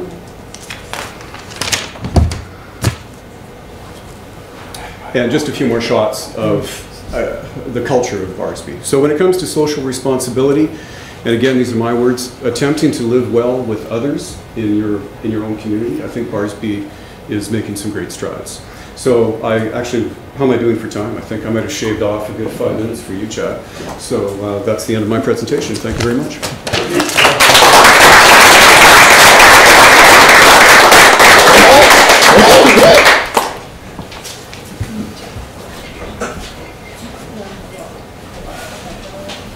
Mr. Lintock, take as much time as you need. Why are they giving you a hard time? You know, I don't mind being the butt of your jokes. I really don't. Just makes what I'm about to say that much more powerful. I'd like to thank our Board of Trustees for your guidance Your time is up. and leadership. You really inspire, no. Um, Actually, on a serious note, uh, this is your last regular board meeting of the years and that, okay. It might actually be uh, a good time to, to honestly and sincerely thank you. And I mean that, uh, not because everybody in this room professionally butters my bread. um, But um, it was a, it was a crazy year. It was a, a lot of change and um, it was handled extremely well. Um, Our board and our senior managers and our district staff um, did their jobs very well, and they let leaders lead, and they let teachers teach, and they let learners learn, and it was uh, it was a good year despite all that change. So, uh, before I start, I want to thank you guys actually because you've spent a lot of time and a lot of effort thanking us for the work that we do, but we're paid to be here. You guys are quasi volunteers, it would seem. So, uh, we thank you guys for the work that you've done, certainly. Um, okay, on that note, I do want to share some success stories uh, with you from Wellington. We had a number. In fact, when I listened to the other schools here, um, it reminds me of the things that we did that I forgot that we did. Um, you jam so many things in a school year. You do so many amazing things. When we talk about the S and O, and we talk about um, the robotics, the coding, and, and all these things that we see, we go, yeah, we did that. And, and you forget things over the 10 months because it is so busy and it's, it's amazing the things that get done. Um, in, in, in rooms across the building and underneath your nose that uh, really teachers just asking you to get the heck out of the way so they can do some fun stuff. So it was neat to see. That's very inspiring. Um, I want to take it from a different perspective, if I may. I'm going to use the success stories at, at the school as a bit of a vehicle to talk about the people that made it happen. Um, we've, we've seen the great things that kids do, and I don't want that to be uh, uh, uh, where I'm not going to focus certainly, but I want to talk about the staff members that have allowed that to happen. It's been pretty remarkable what our staff has done this year, and I think maybe sometimes we forget all the change that they have they have endured as well and what they're doing to get through that. So, um, in order to maybe appreciate our success, I would I would ask that you imagine, uh, if you can possibly, a period of time in public education of uh, unlimited uh, uncertainty if you will. Uh, a time where our staff, our teachers, our, our EAs, our parents, our PAC, our students have been asked to implement, develop, and understand change in assessment, in curriculum, and how we report that assessment, um, and how we use our budgets, uh, looking at old contracts and, and, and restoring old contracts, um, looking in some cases curriculum that hasn't yet been written, and asking them to do it all and do it with a smile on their face and inspire kids. And they've done it unbelievably well. Um, so I'm going to show right at the top here, and I think I may have sent an old version of this to you, Liz, but I'll, I'll- hope that it's on here. Um, our, oh, maybe I can try it here. No, uh, perhaps this one will work. When you go to our site, and as you uh, go to anybody's uh, website at any school, we now list our school plan, school goals. Um, we make sure the community can be a part of it. Our parents can see them, they're active documents. This is going to be what you'll soon refer to as an old version of a, of a school planning document. We are going to have a much more lively document, part of a framework for learning that we're going to be talking about, um, that we will all be a part of. But I would encourage anybody, any one of you, to go to the school websites and look at these. They list the, the goals as developed by staff, as developed uh, uh, with, with parent involvement as well. And you will see on here that our goals included, I can't highlight it here, sorry. Um, develop our, and enhance our grade 8 model inclusive of collaborative teaching and learning plans, new assessment strategies, new curriculum for grade 8s, and it mentions down here establishing collective responsibility, communicative, uh, communication, and collaborative norms. Um, wordy, but um, our goals for the year were focused on those, and I need to know how to get out of this now, sorry. Um, I, I show that just to encourage you uh, to read them and make sure that everybody's familiar with, with where those are. They are, they are active documents and we are held responsible to those once we put them on. Uh, takes us back to here. So when we, when we talk about the people that uh, helped facilitate change, helped support change at Wellington, and, and, and I'm sure everywhere, uh, we have a number of, uh, of people, of course, who contributed. And I just want to quickly highlight some of the things that they had done to allow our students to be more successful. And then I'm going to go at the very end show you some images of our grade 8 year-long learning model, which kind of is that vehicle for, for that change. So our, our PAC group this year um, had a simple goal, and that was in itself to simplify. The PAC meetings were, were, were focused on budget allocations and how are we going to spend the money that we get. Our PAC changed their focus this year. And Trustee Bob, you came to a PAC meeting, and I thank you for that. And you would have noticed they're a very engaged, informed, and active PAC. Um, very quick to question the decisions of you. Um, and, and very quick to ask me to seek answers as, as to why and how that uh, will impact the school. Because they have a right to ask that. Um, absolutely they do. And I appreciate that they ask that. So our PAC meetings were simplified, they were topical agendas. Um, they questioned, debated our code of conduct, our dress code, new curriculum, report card changes, um, the impact of changes as we restore old contract language. They wanted to know exactly what that's going to mean for their kids and the learning in the school. I love that parents ask that and they want to sit and talk about that. They put you on the spot a little bit that, that night, but every meeting was, was as, as you saw that night. Um, they hosted a number of events for us. They encouraged me to bring parents in to host parent information sessions on the curriculum, on assessment. Some of you came to those meetings as well. We held those in our uh, new presentation room. And the parents loved the fact that it was being hosted by PAC. They, they wanted to know what the curriculum looked like, what the assessment reporting orders were, and PAC was, uh, was kind enough to host those. Um, some of you may have attended the Screenagers event that PAC hosted as well. Um, they got very involved and they were very involved in our community and tied themselves into our, uh, our feeder schools as well. So I was very happy with our PAC. Our CUPE group, uh, in particular education assistants, uh, our first staff meeting of the year, they asked if they could present uh, to our staff. We said yes, of course, um, not knowing what that presentation was going to be about. Our education assistants came in and said, um, stop excluding us. Um, we want to be a part of how you're implementing new curriculum. We want to be a part of developing new curriculum. We want to be a part of how that is implemented in classrooms and how students are going to learn the new curriculum, particularly our at-risk students and our vulnerable students. It was a, it was a a risky presentation to make. It was a brave and courageous one to make, and, and they did it flawlessly. And the teachers stepped back and said, "What would you like? How can we involve you?" It was a, it was a bold move that was very, very well respected. Um, they now actively lead many of our PLC uh, groups, our, our, professional learning communities, on, on, on working and uh, strategizing with our vulnerable learners. They don't they don't sit and listen. They don't sit and take notes. They, they lead those presentations with our group, which is, which is fantastic. Again, very brave. Um, our office CUPE staff helped us pilot this year an online course selection process. So we were the first school to, to try that here. Um, it had its bumps, but our office staff had to learn that very quickly. They had to set the parameters on our computer systems, uh, get that infrastructure in place, but they did that. It was an additional task. They didn't have to do it. They did it gladly and willingly and ultimately successfully. And it allowed us to pursue another pilot for next year through their help, uh, one that we're working on with Robin right now, one of uh, many things that Robin is having us work on right now.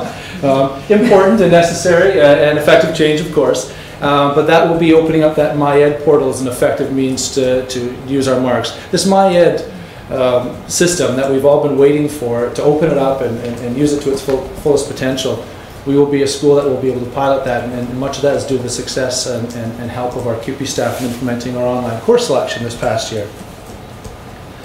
Our NDTA group, our teachers, of course, as we move around our circle here, um, if I may be so bold, I would suggest that our teachers were district leaders this year uh, in new assessment, in the development of new curriculum, and how we were reporting that assessment. Uh, I think we were very early adopters in many of that, uh, in many of those areas of change, and I think they were very successful in, in, in doing so. Um, to the, to the point where our, our staff, many of our teachers are being asked to lead district initiatives and, and host uh, sessions for the district as well, and to show the learning that they had done in those areas.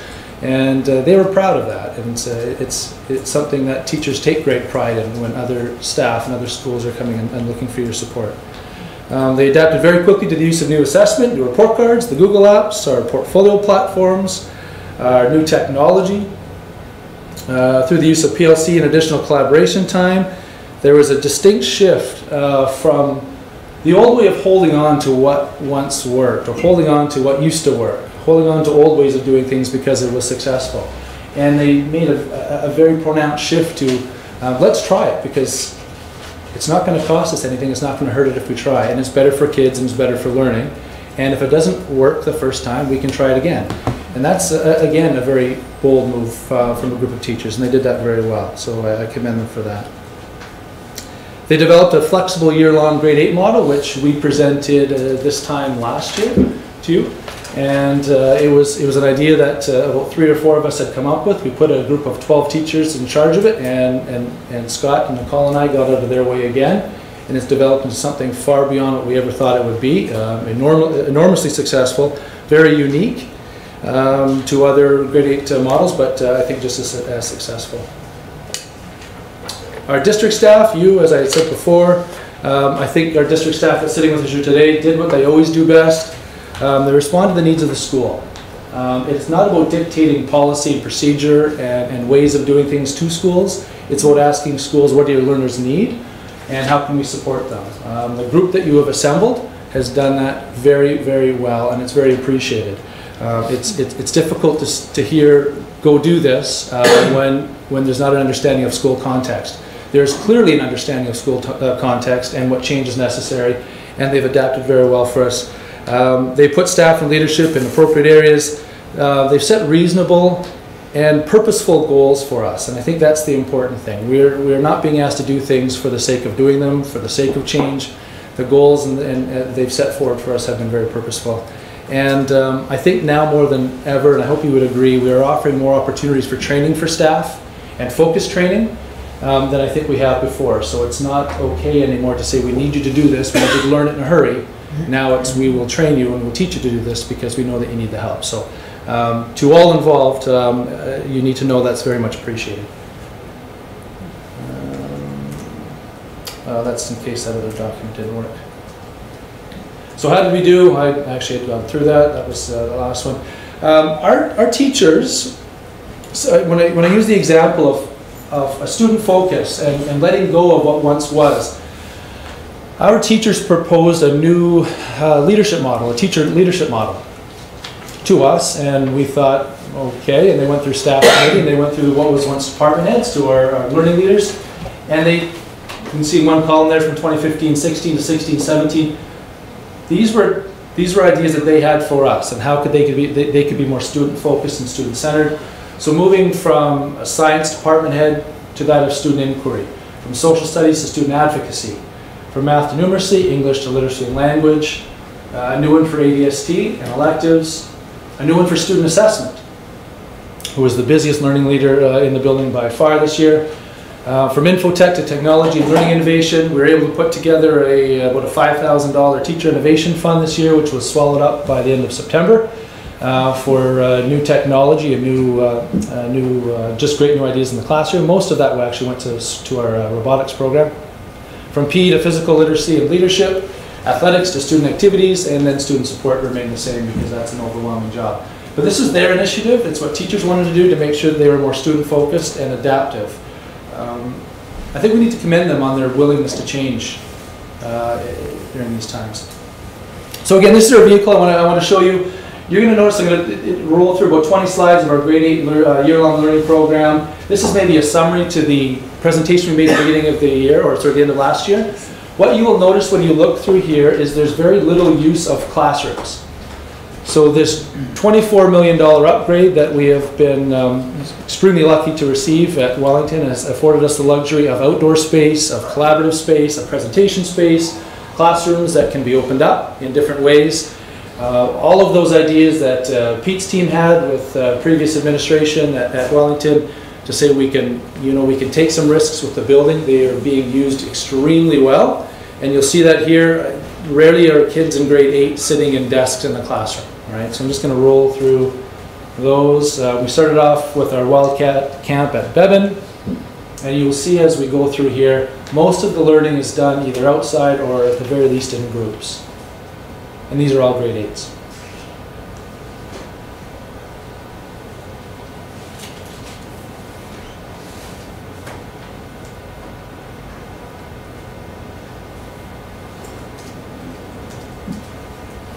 Some of these pictures you'll see were from, were from the Cedar project that we did this year that you would have heard Woodlands last year. So Emily Rocalma, who came with us this year to Wellington, we, uh, we engaged in the same project.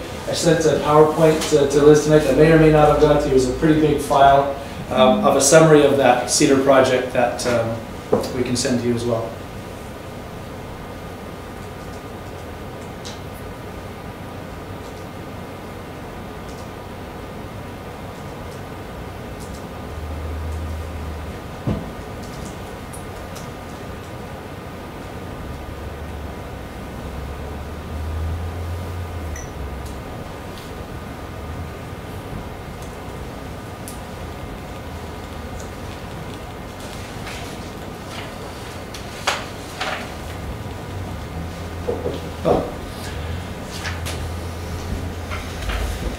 So in conclusion, thank you very much. Uh, moving ahead, uh, what we want, would like to do next year.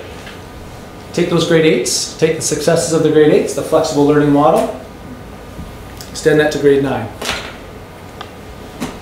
They love it, the parents love it, they've been more successful, they've been more ready to learn, they've been more engaged.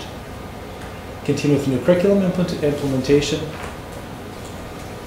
and transition to our MyEd reporting and open the communication portals in the fall. Those, those will be some of our goals uh, for, the, for the year ahead. So again, um, you, you've heard and, and seen, I thank you for those that have been in the building many times, uh, and, and I love that when you have been in there, you have seen those grade eights in, in, in those environments. They weren't staged uh, by, by any means. Um, but I thank you for, for being a part of that, and I just really wanted to focus on the work of staff this year. So I think it's important that you guys hear how much uh, work that your employees are doing in this district to make all this happen for kids. So, thank you very much. Thank you. And I just wanted to say, and I'll give it to you. Okay. I, I just wanted to say, you know, as the curriculum moves forward, as things change, it's so inspiring to see, you know, the group, what you guys brought forward tonight, what, you know, your peers brought forward at our last meeting. We are in such great hands, and we're in really good shape. As we move forward, it's very exciting to see the, uh, what goes on and the leadership that we have in each and every school. So on behalf of the board, we want to all thank you sincerely for everything you do for our kids.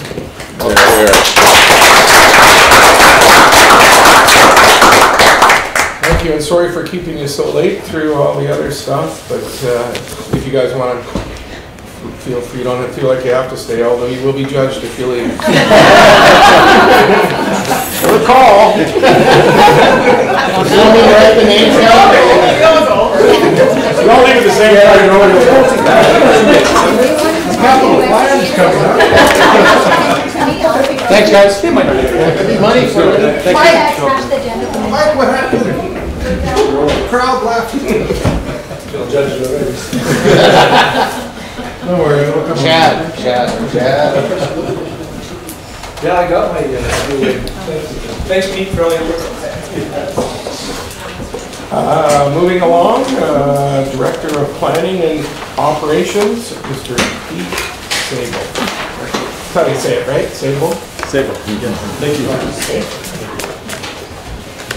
So uh, tonight, um, Mr. Mike Ross, uh, our facilities planner, s- planning supervisor and I will present uh, a high-level overview of the five-year capital plan.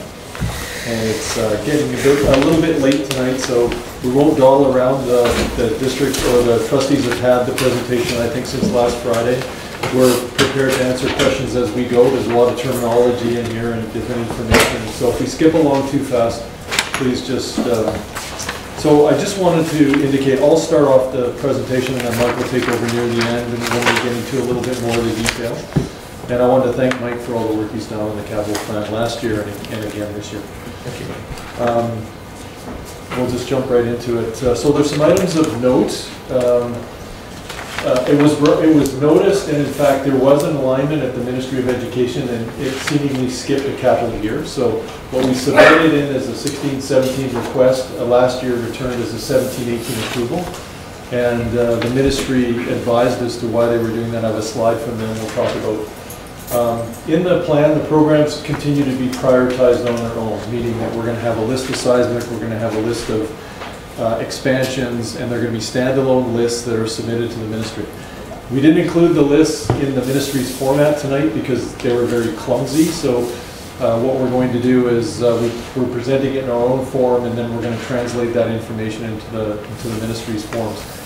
Um, Mike and I kind of, to be honest, Mike and I lost a week. We thought the board meeting would be on the 28th, so we're uh, bringing a little less detail tonight, and we're a little bit more detail to work to do before the 30th submission, but we're all set to do that.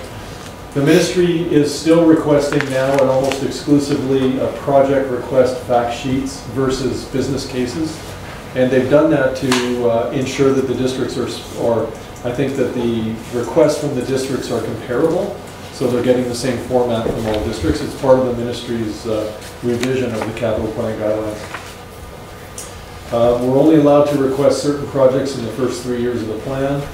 Um, They still uh, look at uh, district contribution for funding of projects um, towards the SEP, and we're looking at uh, one, and Mike will talk more about that. And then the uh, school enhancement program uh, still remains. They've increased the funding. They're asking for a maximum of five separate projects. We can bundle them, Mike will speak to that. And the 17-18 now can include flooring uh, projects and washrooms. So we're hoping to take advantage of that. Uh, This is a slide from the, um, uh, the ministry's um, uh, webinar on the capital plan guidelines. And so you can go through this on your own time, but it, it does indicate the process of the ministry evaluating all of the capital submissions. And so we're here at June 30th, and we expect a letter from the ministry, a capital uh, response letter in March to our submission. Um, As I said, uh, staff continue to work on a a bunch of the detail, uh, updating the PRFS consultant reports, project costings, filling out the enrollment forms, and a little bit about the uh, budgeting work around the SEP program. The ministry, uh, there's a few changes to the capital plan instructions. They provide increased clarity on board resolutions, response letters, bylaws.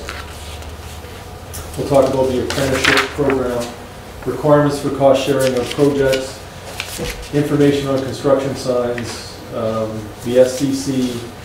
um, They're now looking at modular options versus uh, stick build, and that's something that we were considering as well. And um, um, Then changes to the criteria for the SEP and bus which are minor. So we've been meeting, having an ongoing uh, number of contacts with the ministry staff to make sure that we're in alignment with uh, the ministry's goals. Um, Four or five different, and, and one of the items that's uh, pretty big on the update is the SRG three, the seismic retrofit guidelines version three. So we'll talk about that in more detail.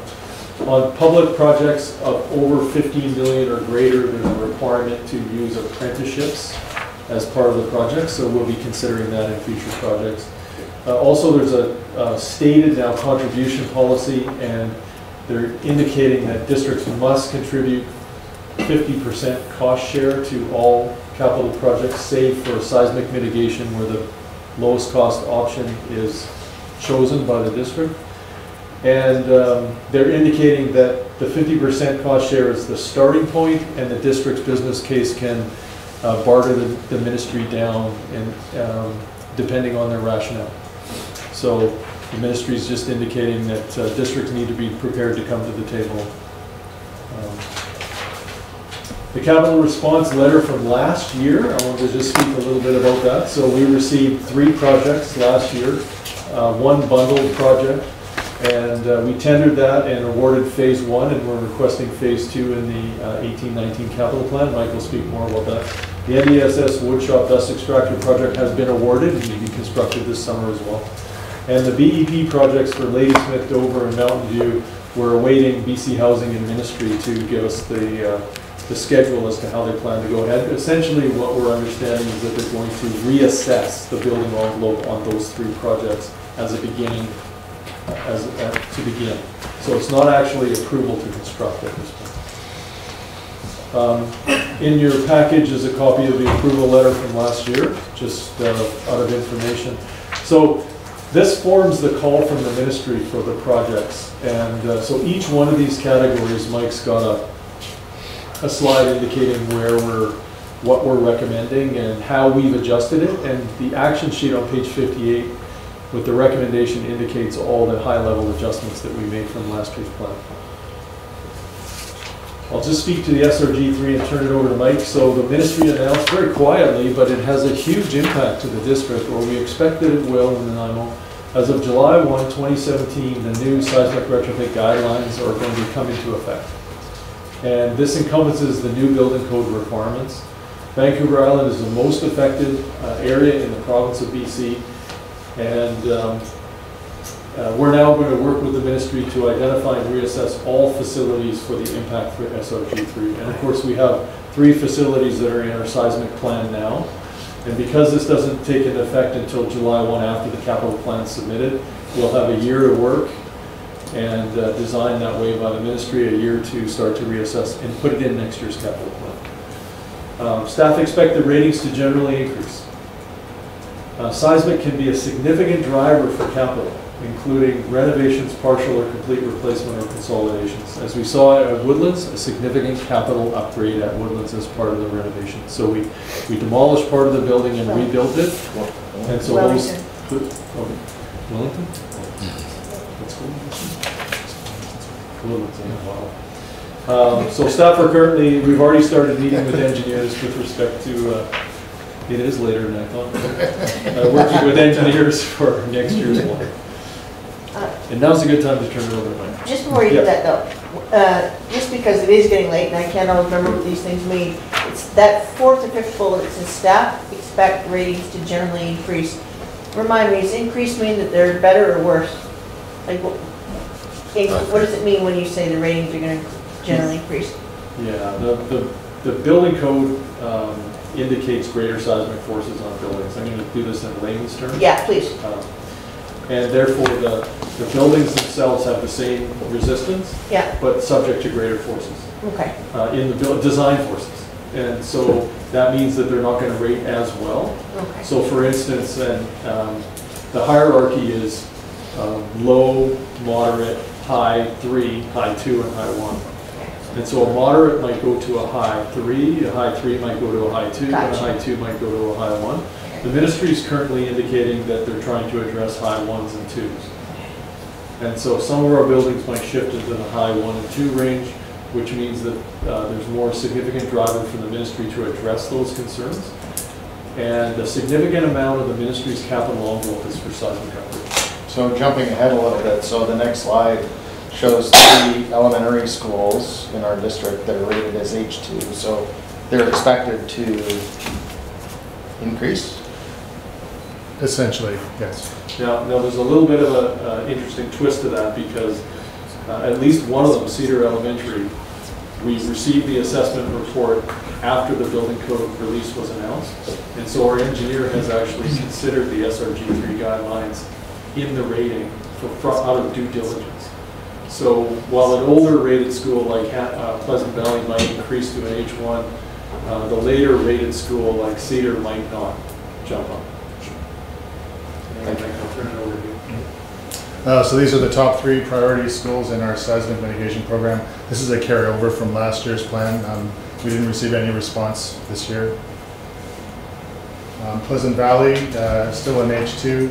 Um, These budget numbers are from 2015 through our SPIR, or SPDR, sorry, in this one. Um, We'll be looking for a response in our next capital response letter. Uh, Cedar, uh, another H2. Um, This is a 2016 estimate of $5.1 million. Uh, We'll find out if we can proceed to the SPDR, hopefully in our response letter. And Cilaire, um, $3 million budget, and we'll also be waiting to see if we can produce- you know, proceed to the SPDR. Uh, Rutherford uh, has been removed from the plan. Um, It was an H3. Uh, It was an H3 due to the SRG3 guideline. We use those criteria when having the school assessed, which helped form the business case for closing it. Um, The expansion program, so we have four um, projects in our expansion program. Uh, First one's the Hammond Bay Gym expansion, which was uh, our second priority last year. Frank Ney has come off, uh, so we just move them up the list. Uh, Second is the Hammond Bay Elementary addition, uh, Forest Park addition, and the Cinnabar. Um, So as I mentioned, Frank Ney's been removed from the list because we're actually up for tender on that right now, and that closes next week. Um, The Hammond Bay Elementary to enlarge the gym to a full-size gymnasium. Um, We completed the PDR in January of this year. Uh, It's going as our first priority project in the expansion program, um, and with a budget of $1.5 million. Um, Second project uh, in our expansion program, uh, Hammond Bay, we've updated some costing on this uh, based on some development we've done over the last year, uh, coming out of our master planning process and developing some options for the school. Um, Our budget has increased to 9.3 uh, based on a, what would be considered a Class D um, estimate. Uh, Forest Park remains in the plan. Um, It's in year four right now, so we don't have to do much in the way from ministry um, requirements for detailing scope or costing. Uh, It's on our radar. Um, We're expecting enrollment to exceed uh, by 96 over five years, so we're, we're looking, we're starting to look at that school. Uh, And the same for, for Cinnabar. We're projecting some growth there. It's out in year four or five. It stays on the plan. Park Avenue was removed from last year's plan uh, due to changes in catchment and reduced enrollment So- forecast. Thanks, if I could jump in, Mike. I I just wanted to point this out. um, As as I said, we've removed this from the plan. In 2016, we did a catchment change process that involved a number of schools in the south end and and went as far as Fairview, Brechin, and Forest Park. The changes has seen uh, us forecasting a balancing of enrollments in the south end, so where we were looking at an addition at Park, now it's a little more balanced, there's a few more students to Bayview, a few more students to uh, Georgia Avenue, et cetera, and the result is a removed from the plan, so we're quite pleased with that. Uh, Next up, uh, replacement. Um, We've added Ladysmith Intermediate. Uh, That's a new one from last year. Nanaimo District Secondary, the DAC office, and the maintenance yard are all carryovers from last year's um, submission. Uh, to Ladysmith. Uh, Ladysmith, uh, we're looking to replace Ladysmith. Um, We've done a, uh, we're looking to do a building condition assessment, a land use analysis, appraisal, uh, a master plan for relocating Ladysmith Intermediate to Ladysmith Secondary Primary Site. Um, And we'll be submitting a PFRS light uh, with our capital plan submission, just the initial stages of a business case. If I, if I could just speak to that as well, as, as the board is aware, there's a committee that, uh, involves our staff and the city staff, uh, working on this in in consultation with them, and so when we talk about the possibility of going to the primary site and, and the secondary site with this, it- it's, uh, with their understanding, and so it- it's not a surprise, so, uh, just to let you know that, so. And the reason for inserting it as the next priority is just to make the ministry aware of what our plans are. We've had discussions with them already on that. And, and, and again, it may not mean, also, this plan may not mean that we're, it's a total replacement to the building. We have some different options we're looking at that we are quite excited about. Uh, NDSS, again, um, this is out in year five, as far out as we can push it, but still keeping it on the radar. Uh, And DAC office, same thing, it's, it's still on the radar, but it's hinging on what happens with NDSS, as does the maintenance yard. It's all part and parcel. Uh, Building envelope program, uh, we did receive a response last year from Mountain View Dover and Ladysmith, as Pete mentioned. Uh, We're just still waiting to hear from the ministry what the next steps are, and it's likely just a reassessment. Uh, The costing that was done back in 2006 is obviously dated as our codes and requirements. Um, uh, We've been told just to keep all the projects that we have on the BEP list, stay in the plan until we get some more direction. Uh, So we have- currently have seven out there. This is for buildings that were, por- or portions of buildings constructed 2000 and later under those current, uh, those those building codes. Um, Mountain View, um, like I mentioned, the- the budgets are 10 years dated, so uh, looking to get those updated through BC Housing. Mountain View, Ladysmith Intermediate, Dover Bay, North Barsby, North Oyster, Sports Park, Mount. Uh, The school enhancement program is the next one on the list. Uh, We're about to submit a total of five projects in total in this program. We- The project funding envelope is from between $100,000 to $3 million. Uh, So we've um, identified five different project or project groupings uh, to go in this submission. Uh, The first one up would be Phase Two of the Hammond Bay CNCP HVAC upgrade, which is going to be constructed this summer. Uh, The balance of the funding would come out of the Phase Two ask. Uh, Ministry's indicated if they, if they fund a Phase One of a project, they're very likely to phase, or fund the Phase Two, as they did last year with the Cedar water upgrade. Um, Second is Park Avenue Elementary. Uh, We've got a pretty substantial HVAC upgrade plan for that school. It's a large project. We've broken it up into three phases that we can do over three summers um, to reduce the funding ask so we can spread that out over more of our projects. Uh, We've bundled up the dust extractor replacements. Um, Dover and Wellington are going in this year.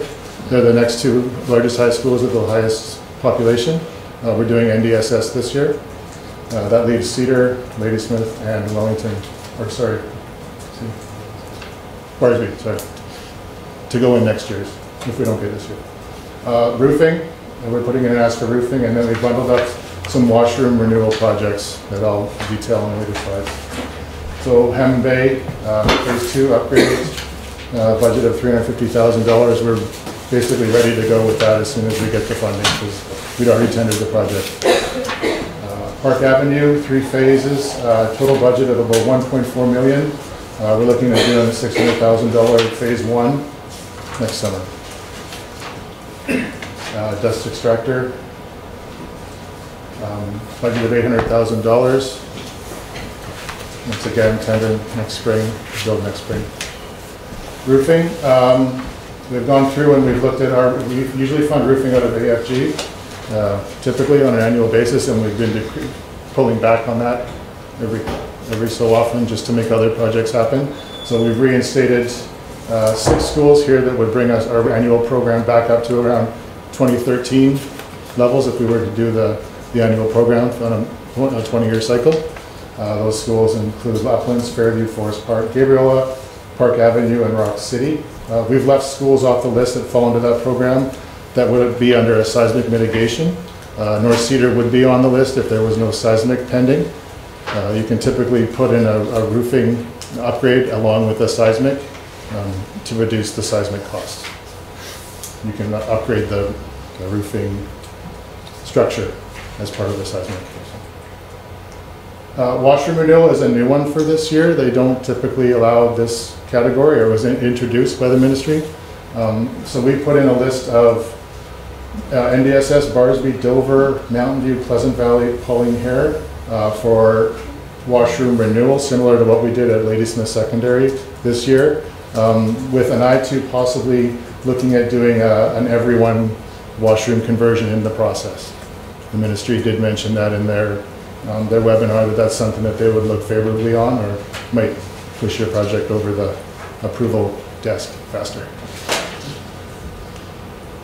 Uh, We're on to carbon neutral, um, CNCP. We did get our Hammond Bay CNCP project funded last year, so like I mentioned, that is out for tender right now, or, sorry, the contract has been awarded, and we're constructing that this summer into the fall. Uh, The next on the list would be a boiler replacement at Cedar Elementary, uh, budget of $325,000. Um, Bus replacement, um, transportation uh, has indicated that uh, we don't need any bus replacements this year. Everything is in decent shape, no, nothing forecast until 2021, based on mileage and and projection of usage.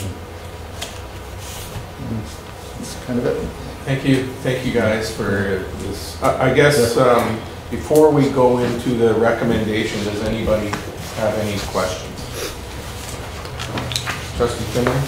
Uh, so AFG, does AFG go into any of these projects? Like if you don't get your money through the five-year capital plan, would AFG go towards any of these projects? Or is AFG typically used for other things? Uh, The roofing ask, if, if we get none or a portion, then AF the AFG would supplement our roofing as well.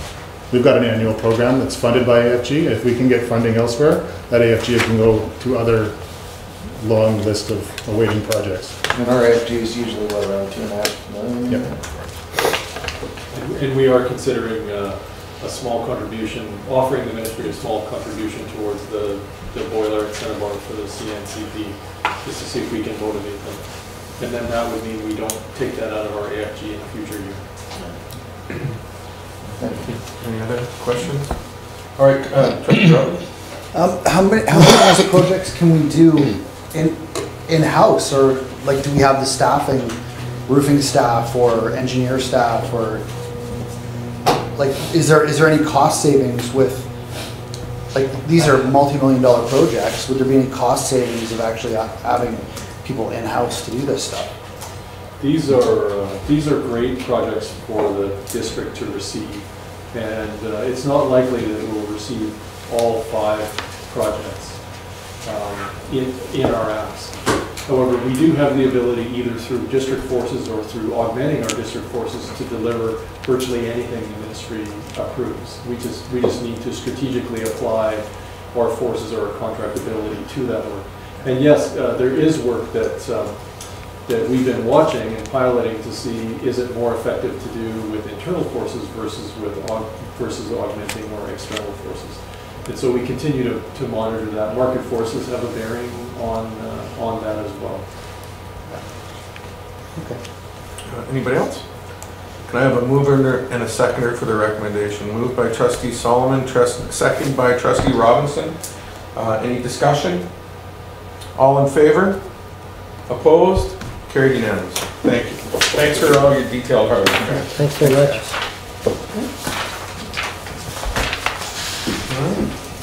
Uh, Superintendent Blaine?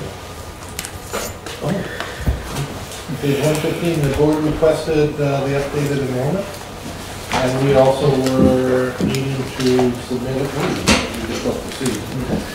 But uh, what I can report to you is that uh, when we put this together, the basic enrollment uh, of the update from the projection till now has remained the- the same. Uh, Although there has been some adjustments to uh, level one, two, and three in the special, uh, uh, special needs categories.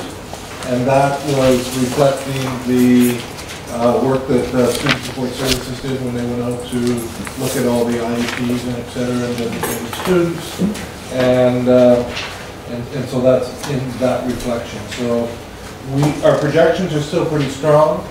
Um, We look at this year as a, as a typical year where we will probably see quite a bit of, uh, of, uh, quite a few students coming and going over the summertime. We feel that we will still be over, but uh, the indicators aren't strong enough for us yet to say how far we're enrolling, so we're putting the same uh, enrollment in. So that's basically what all that small print shows you. And uh, what we can do is I'll get sent out to you in a larger uh, font. Or, or was it larger on your, uh, was it on Excel? Okay, I have no problem. I think on, I think on our, on my computer, I was able to, Perfect. I'll double check, but Okay, yeah. so if you need it, let us know. Uh, But anyway, the, the bottom line is, uh, projections are holding true, they're about the, the same as what, uh, these numbers reflect exactly the same thing, except for uh, designated students. Okay, Thank you. Any questions, comments, or concerns? Seeing none, uh, no unfinished business, any objection, uh, sorry. I- Your name? I know, I know. Well, I just wanted to, yeah, and you, and and you might chime in too, but Um, uh, I know you're, you're just about to move on. Oh, I'm sorry. Unfinished business and you're into information? Yes. I just wanted to look at it. Okay. I have no issues. Any, uh, anybody have any objection to receiving the, uh, any of the 16.1, 16.2, 16.3? Anybody have any questions, comments, or concerns about any of those issues? Seeing none? Thank you.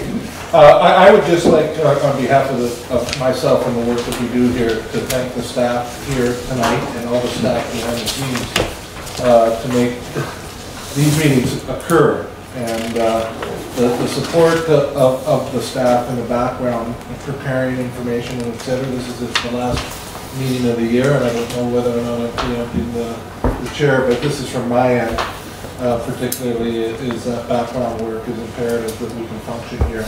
And uh, evenings are, uh, are precious for all of us, and uh, we really, I really do appreciate the time. And, and short deadlines are, are something of the norm for all of us, and uh, it is appreciated because all of us also understand what short deadlines do to us sometimes. So thank you for sometimes my shortness, and, and uh, I really do appreciate the hard work. Thanks. And just to dovetail on that, I just wanted to thank our staff and our board. I mean, this is another year, boy, it went right fast. Um, and thank you for everybody at this table's commitment, hard work, dedication to make this a better place for everybody. We don't always agree.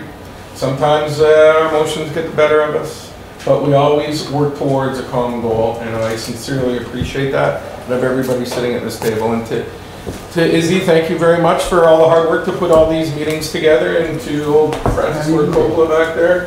Thank you for uh, making this a movie that nobody can uh, turn down. And uh, thank- Special shout out to Bob. And yeah, thank you to Bob. Clearly, uh, Bob there. So uh, anyways, and thank you to our union presidents, Rob and Shannon, thank you for your commitment to this district and to make it a better place for everybody. So on that, uh, we have questions, we have one question. Uh, This is from Shannon. Uh, Will the board write to the new government and express immediate need for fully funding the restored language and maintain the 2016, 2017 service levels? Um, Well, this is a labor relations issue.